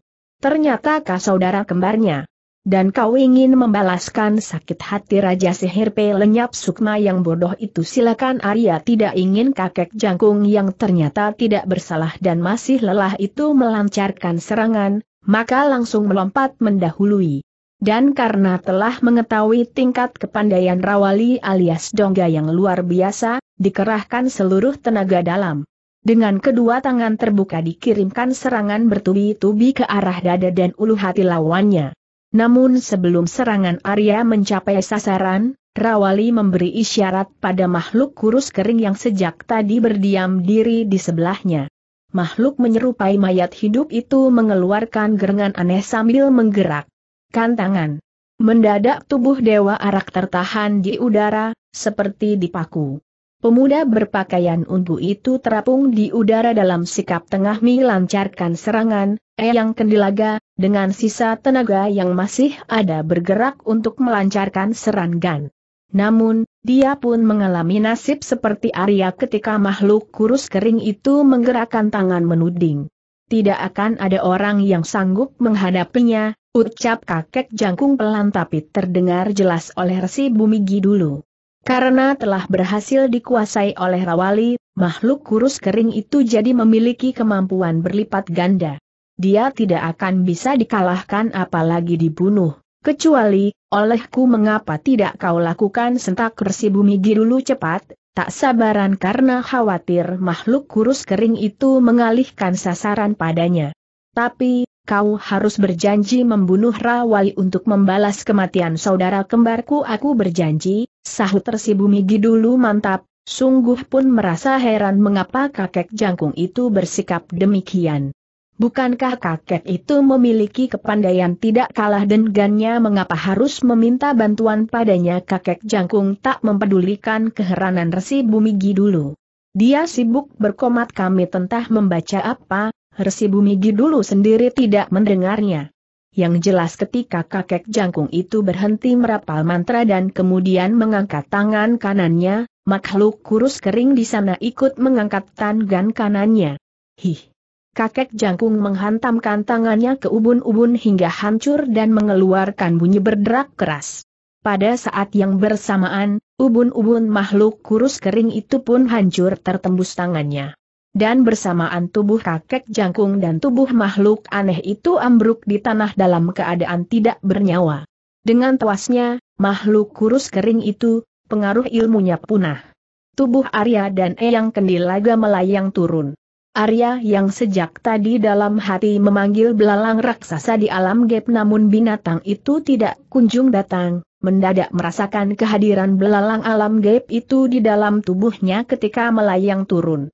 Seketika itu pula dengan sebuah gerakan tidak masuk akal, di saat tubuh berada di udara, Dewa Arak melompat dan mengirimkan sampokan ke arah pelipis Rawali.